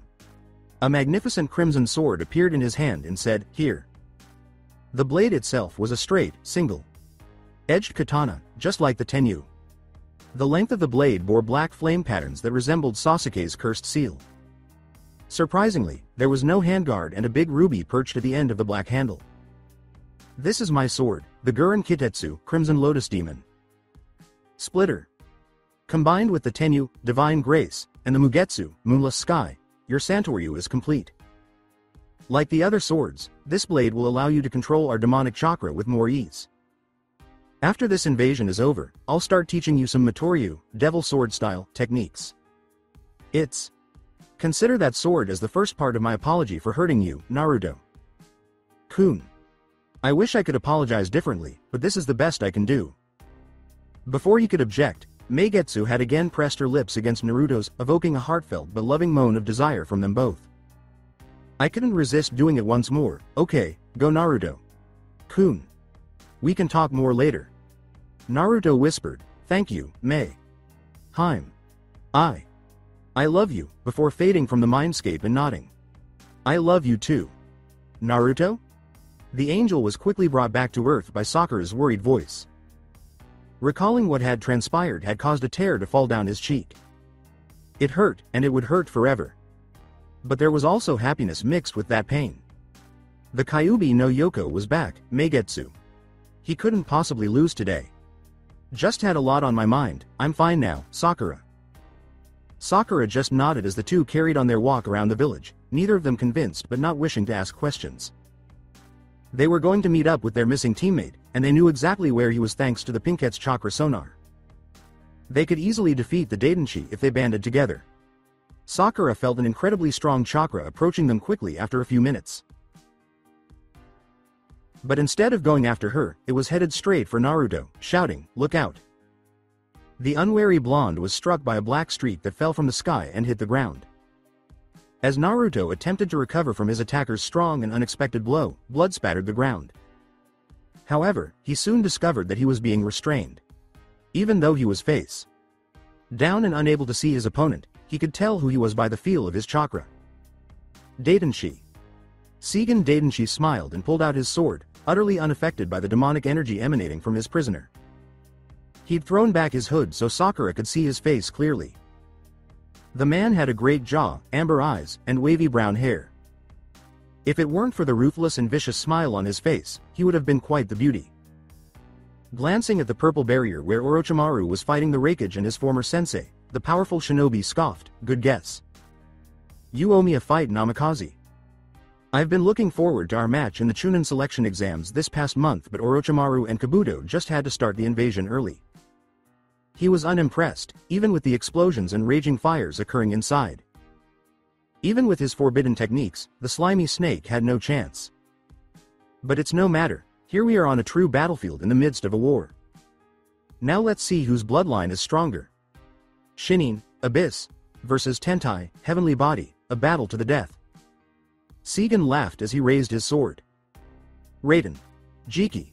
Jikan Toketsu, Lightning Release, Magnetism, Frozen Time. Stopped dead in its tracks, the black blade was only inches from Naruto's bare neck. Seigen was unable to move the blade even with his great strength. He glared at the person with pink hair, cursing. A foul chakra started to accumulate in his hand. Reiko wanted to be the one to kill you, but I think she'll just have to deal with the disappointment. How dare you stop my sword? You're going to pay for that. But before he could get back at him, Naruto slammed his elbow into Seigen's knee, allowing himself to get away and join Sakura. Many thanks, Sakura, sighed Naruto. You caught me off guard that time, it won't happen again. Seigen let go of his black wings and laughed. He aimed his sword at the enemy that his clan detested, and a swirling black chakra aura encircled him. I hope you're ready for this. My Shisui, clear autumn water, wants your blood. Naruto yelled, Get ready, Sakura and charge.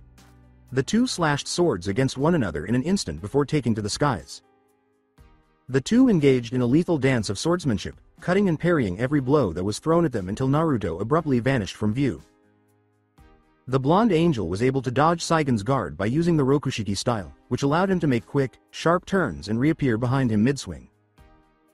As the two fought for supremacy, the shinobi swiftly dodged the swing and, after reversing the grip on his sword, slamming his blade into Naruto's, showering him in sparks. They were staring at each other with fixed eyes as they pushed, each trying to outmuscle the other with strength but failing to gain any ground.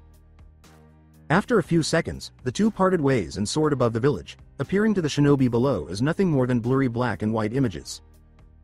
Naruto twisted away from Seigen's sword thrust, slamming Tenyu up at the Daidenshi's ribs, only to have the blow miss and be met with an overhead strike right away. Unwilling to give up, Naruto growled and slammed his blade back in retaliation. As he kicked Naruto out of the way, Seigen sneered, not bad Namikaze. You've improved since your fight with that ice bitch. The Daidenshi swiftly materialized above Naruto's still. Descending form, charging after him and bringing his blade down. The hurriedly elevated block quivered under the force of Seigen's numerous blows, as he struck Tenyu with such force that shockwaves were visible. Dozens of shinobi, friend and foe alike, watched in dismay as the two angels descended from the sky toward Earth, an experience that was almost too painful to witness. Seigen continued the attack, landing blow after blow, culminating in a rib. Cracking kick to his torso. Ha ha ha. Try again. Luckily, the blonde bounced back quickly after falling and tried a horizontal slice, but it was batted away. Unfazed, Naruto launched a rapid sequence of blows in an attempt to impale or at least hurt his opponent during the volley. However, it was in vain because Seigen repeatedly swatted the blade away before retaliating. Naruto attempted to retreat in pain as a deep cut on his leg began to bleed, staining his pants. He swung his sword blindly in an attempt to put some distance between them, but the Daidenshi laughed and knocked it aside, making an exaggerated gesture that revealed Naruto's chest for a final strike. Naruto thought with triumph. Naruto spun around before Seigen could capitalize on the opening, using the Daidenshi's parry, which had also left him wide open, as momentum to swing his sword, which glowed with signs of chakra just waiting to be released. Saitoryu. Dai Tenjiri, Holy Sword Style, Great Celestial Slash. A massive crescent of golden-white chakra erupted from Naruto's swinging blade, moving too quickly for Seigen to avoid, and his eyes widened. Well shit. Whack. The blinding light of the explosion burst against the Black Angel, lighting up the sky. Shinobi nearby were forced to cover their eyes from the explosion, but they secretly rejoiced at the seeming defeat of the Daidenshi. However, Naruto was aware of better, and when the light finally went out, he was not shocked to see Seigen with a shallow cut across his chest and only moderately singed. The blonde angel was, if anything, irritated by how little the harm was. Not only was he not bleeding, Seigen was about to tease Naruto about how ineffective his attack was when Sakura materialized above him, her fist raised with deadly intent. Shannaro. A cracking sound signaled the Daidenshi's descent into the earth, destroying a building as it did so. After the devastation, Naruto dove down and pulled Sakura out of her descent, sending a plume of dust behind him. Nice one, Sakura. Naruto exclaimed, embracing the girl with the green glow as they took off. They knew Seigen wasn't out for the count just yet because he was just too strong, but that blow would have most likely temporarily caused him to see double. They were able to use that time to execute a tactical withdrawal and locate supportive allies. Even the rookies would be useful, even though they would rather have their own teammate because Naruto had taught them techniques that, if not enough for actual damage, would at least impair Saigon's mobility. Sakura muttered, I hope that punch gave him the mother of all headaches, turning off her strength technique in order to preserve chakra. Though she silently observed that the healing process was much quicker than it had been previously, she was relieved to see that Naruto's leg wound had partially healed. However, he possessed an abundance of chakra. Naruto smiled. I'm sure it did. You really can pack quite a punch. He, you know this from experience. Yes I would, bitch. Hey. You're the one who acted like an idiot. And that gives you the right to beat me black and blue? Yes. Oh, well, I was pretty stupid, but it still hurt. So fuck you. Sakura teasely smiled as she concluded their conversation, saying, maybe later. I can see Neji and Tenten, Looks like they need some help. Since neither of them truly intended harm on the other, she always did enjoy making jokes about Naruto. When there was enough danger to warrant conversation, it always helped to diffuse the tension between the parties. As they flew down, they witnessed Neji and Tenten heroically fending off three Chunin in an alley and emerging victorious. If not by much. With his Juken, gentle fist, Neji was holding them back while his teammate, who seemed to have an infinite supply of weapons, provided cover.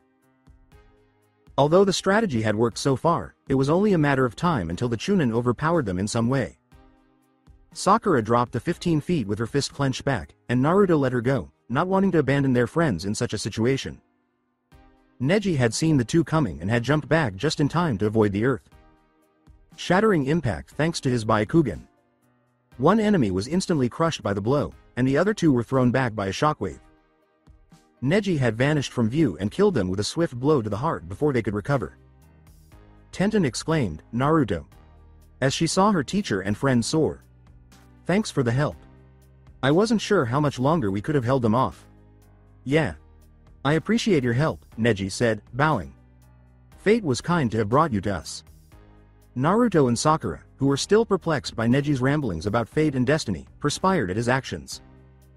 Luckily, it didn't seem like there were any enemies nearby, so they could talk for the time being. Naruto looked over at Tenten. Have you used it yet? The brunette gave a headshake. Not yet, I want to conserve my chakra. We have no idea how long this battle is going to last. Ignoring Sakura and Neji's perplexed looks, the blonde angel nodded. Good decision, because we're going to need just about every ounce of chakra you two have. Is he moving yet Sakura? He'll be here in 10 seconds. Pulling out Mugetsu just in time, Naruto growled, shit. No time to explain. Bottom line is we're fighting someone as strong as a Kage so stay on your toes. A maniacal Seigen appeared in front of him, his blade slamming against his own with such force that the ensuing shockwave knocked the others back. Naruto swung Tenyu in a vertical slash with a loud curse, but it was parried and returned with a stabbing thrust. The blonde lunged back, knocking the enemy blade away, turned, and cut the Daidenshi's arm slightly, but the two were soon rewarded with a kick, and they started trading blows. Nevertheless, Naruto saw it as a success because it was his first genuine hit. The battle had become much more equal because of Naruto's superiority at Nitoryu over Itoryu, especially since he could still use his legs for aka Ashi, red leg. Naruto struck with that adaptability at his disposal. The blonde plunged both of his swords into the earth before slamming his legs squarely into Saigon's chin. Naruto appeared above the Daidenshi, sending him flying and momentarily paralyzing him with a crushing axe kick and both swords swinging down tangent to each other. Planche a decouper, cutting board. Seigen screamed in pain as he took the full blow because he was immobile. While the axe kick sent him crashing into the earth below, cratering the earth and leaving the Daidenshi moaning in agonizing pain. The two blades sliced clean through his armor and into his side, literally cutting open and filling it with blood.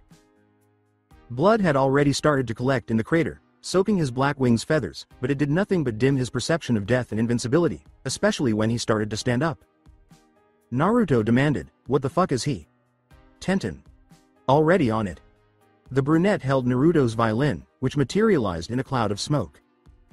It was the ideal gift for the aspiring weapon mistress in case her ammunition ran out or if she just wanted to fight more cautiously. The girl would have a nearly full tank when using the violin because the only chakra she used was for summoning and stamina. Tenten raised her bow, gave the fallen angel a sly smile, and began to play a song fit for a warrior. A fitting soundtrack to the battle taking place in the air started to play. It was blood.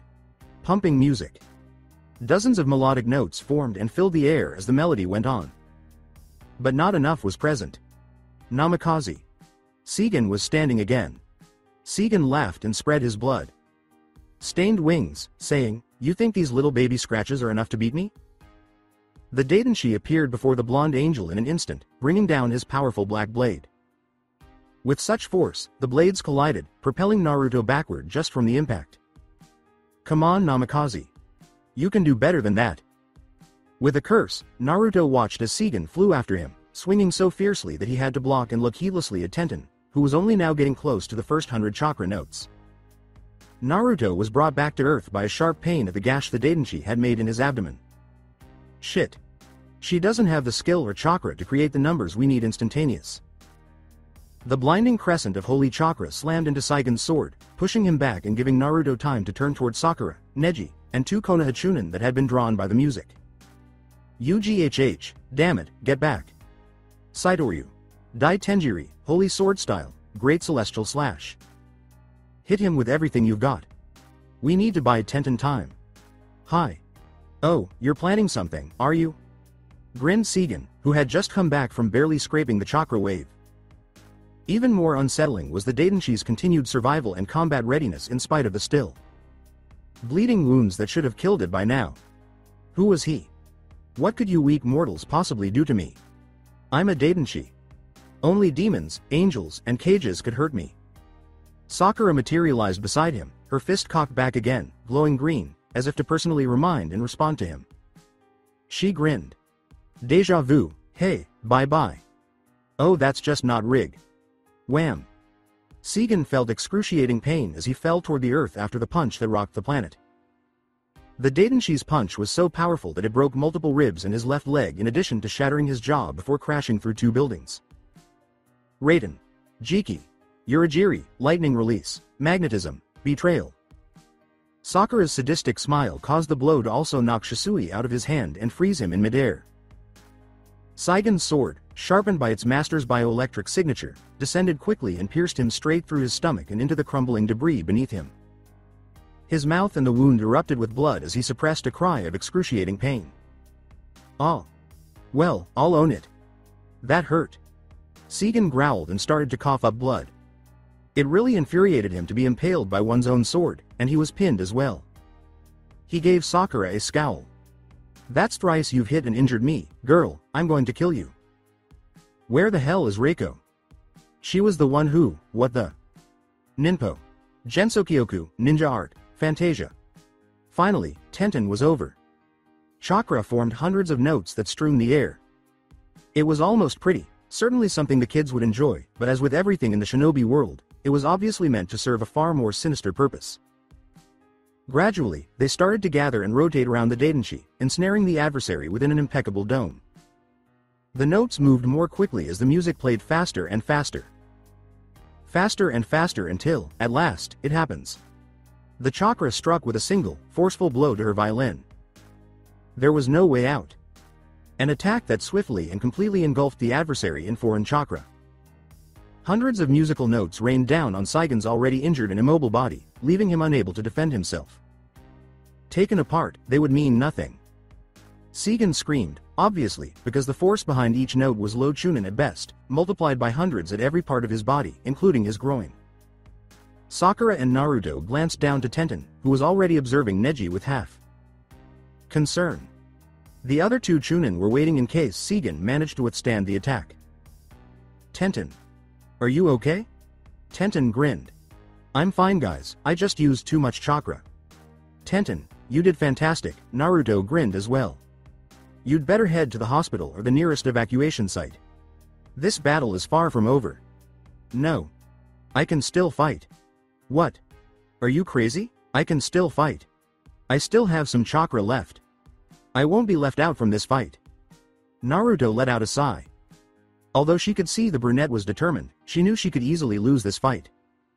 He motioned to his teammate to try it out. 10. Chan. Sakura commenced. You're already suffering from mild chakra exhaustion, use any more and you might actually die. We just don't want to see you get hurt. Gaia. As the four genin turned around, they saw the two Konoha Chunin with their bloody hands protruding from their chests. Although they were unable to see the attacker, Saigon was able to identify them quickly. It's about damn time. Where were you Reiko? The stunning Daidenshi laughed and threw both of her bodies at Saigon, saying, I was just having a little fun. She brought her finger covered in blood to her lips and licked the blood away slowly, staring at Sakura with seductive glances as she did so. Kaya. Sakura. Chan. How've you been? Did you miss me since our last encounter? I sure did, your blood, em, so delicious.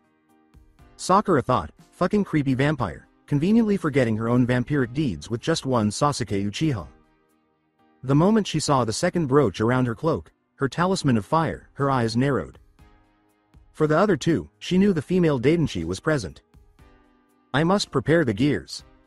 Reiko became enraged at Sakura for not answering. With a dramatic sigh, as if the Pinkette's lack of reaction had really depressed her, she asked, Ah, are you still mad at me for taking the Talisman of Fire? Before turning to face her fellow Daidenshi and yanking out the sword that was impaled through his stomach. Saigon. Kun. Hurry up. I want to taste Sakura. Chan again. Reiko's violent assistance caused Saigon to merely scowl as he grabbed the almost dead Chunin and sank his teeth into his neck, not even flinching. Hakkaiden. Datsuryoku, Destruction Release, Draining of Strength. The Konoha Genins watched in dismay as Saigon drank every last drop of their fellow shinobi's blood in front of them. Would he then use the blood and chakra to regenerate? It was accurate. They could see that the wounds were all starting to heal. Then, two minutes after Saigon had drained the blood from both Chunin, he was back on his feet, acting as though he had never been injured in the first place. Now reduced to mere skeletons, the two courageous shinobi who had risked their lives to aid Naruto and his friends. The sword. Wielding Daidenshi approached Reiko's side and gave him a crack in the neck. Man, that felt good. Gotta admit though, Pinky over there can really pack a punch. Reiko laughed. That's my Sakura. Chan, and you know you loved it. True. Masochist. This coming from the sadistic vampire. Reiko chirped, well, Takaya is a sadomasochist, best of both worlds. But I personally prefer that Zabuza guy, so big and strong with the smell of a demon, him, gets me all wet just thinking about him. Reiko shivered and said, you can fuck him later, but Seigen paid no attention to her at all, focusing only on Naruto. Right now, we have a Tentai, heavenly body, user to kill, and you want those talismans. What about the others? Seigen materialized behind Tenten with his sword impaled through her chest, saying, hum, both. Are a nuisance. Tenten. With his foot in Seigen's neck, Naruto materialized in an instant, sending the Daidenshi hurtling back into a neighboring building. Collier, neck. Was all that was visible on Naruto's angry, enraged face. This bastard attacking his friends, how daring. He had no intention of stopping. As soon as Naruto struck Seigen's sword with his blades, the energy from Tenyu and Mugetsu's chakras ignited, causing the sword to burst into flames. Just as a slightly singed Daidenshi fled into the air in the aftermath of the chakra explosion, Naruto materialized above him, his sword swinging down in an overhead strike. Click. As Seigen blocked, redirected, and eventually countered, the three blades collided, sending sparks skyward, only for Naruto to mimic his moves. They keep moving away from the blonde's friends as they trade blows and dodge each other's stabs and swings. They were really engaged in combat above the Hokage monument. It's got to stop, and I have to keep Seigen away from the others. And with that in mind, the blonde angel launched a fresh, powerful attack. Saitoryu. Dai Tenjiri, Holy Sword Style, Great Celestial Slash. Sakura, meanwhile, hurried over to her friend who had been hurt, her hands already glowing with healing chakra. The deadly Kunoichi appeared happy to let Sakura tend to her friend's wounds before she intervened, but the Pinkette knew that wouldn't be sufficient because Tenten had a pierced heart and she only knew basic first aid. She knew her partner couldn't use his holy healing methods because they all required extended, uninterrupted periods of time, but if he could distract the sword. Wielding Daidenshi enough, they might be able to get Tenten and Neji to flee to the closest safe haven. Sakura yelled, Neji. And shoved a pill down the brunette's throat. If nothing else, the additional chakra would help her survive. Take Tenten and go to the nearest evacuation site. There'll be medic. Nin's stationed there. I've done all I can, but that'll only give you another minute of extra time, so hurry. We'll hold them off. With Tenten in his arms, the Hyuga branch member immediately took off, reaching speeds that validated his reputation as a Konoha prodigy. Neji whispered under his breath, this can't be your fate. I refuse for this to be your fate. Just hang on Tenten, I'll get you there in no time. He then used his almost flawless chakra control to blur through the village and arrive at the evacuation site. I know you don't like music, but look how sad they are, did you have to do that, Seigen? Kun? Reiko said absently, not even bothering to glance at the fleeing Neji and Tenten or even Seigen, who was now long gone and fighting Naruto. But she did see Sakura slowly adopt a stance, a murderous intent expression marring her lovely face. Oh. Sakura. Chan. Are you finally ready to fight? EH? What are you doing? The blush and perspiration on the Pinkette's skin had started to rise.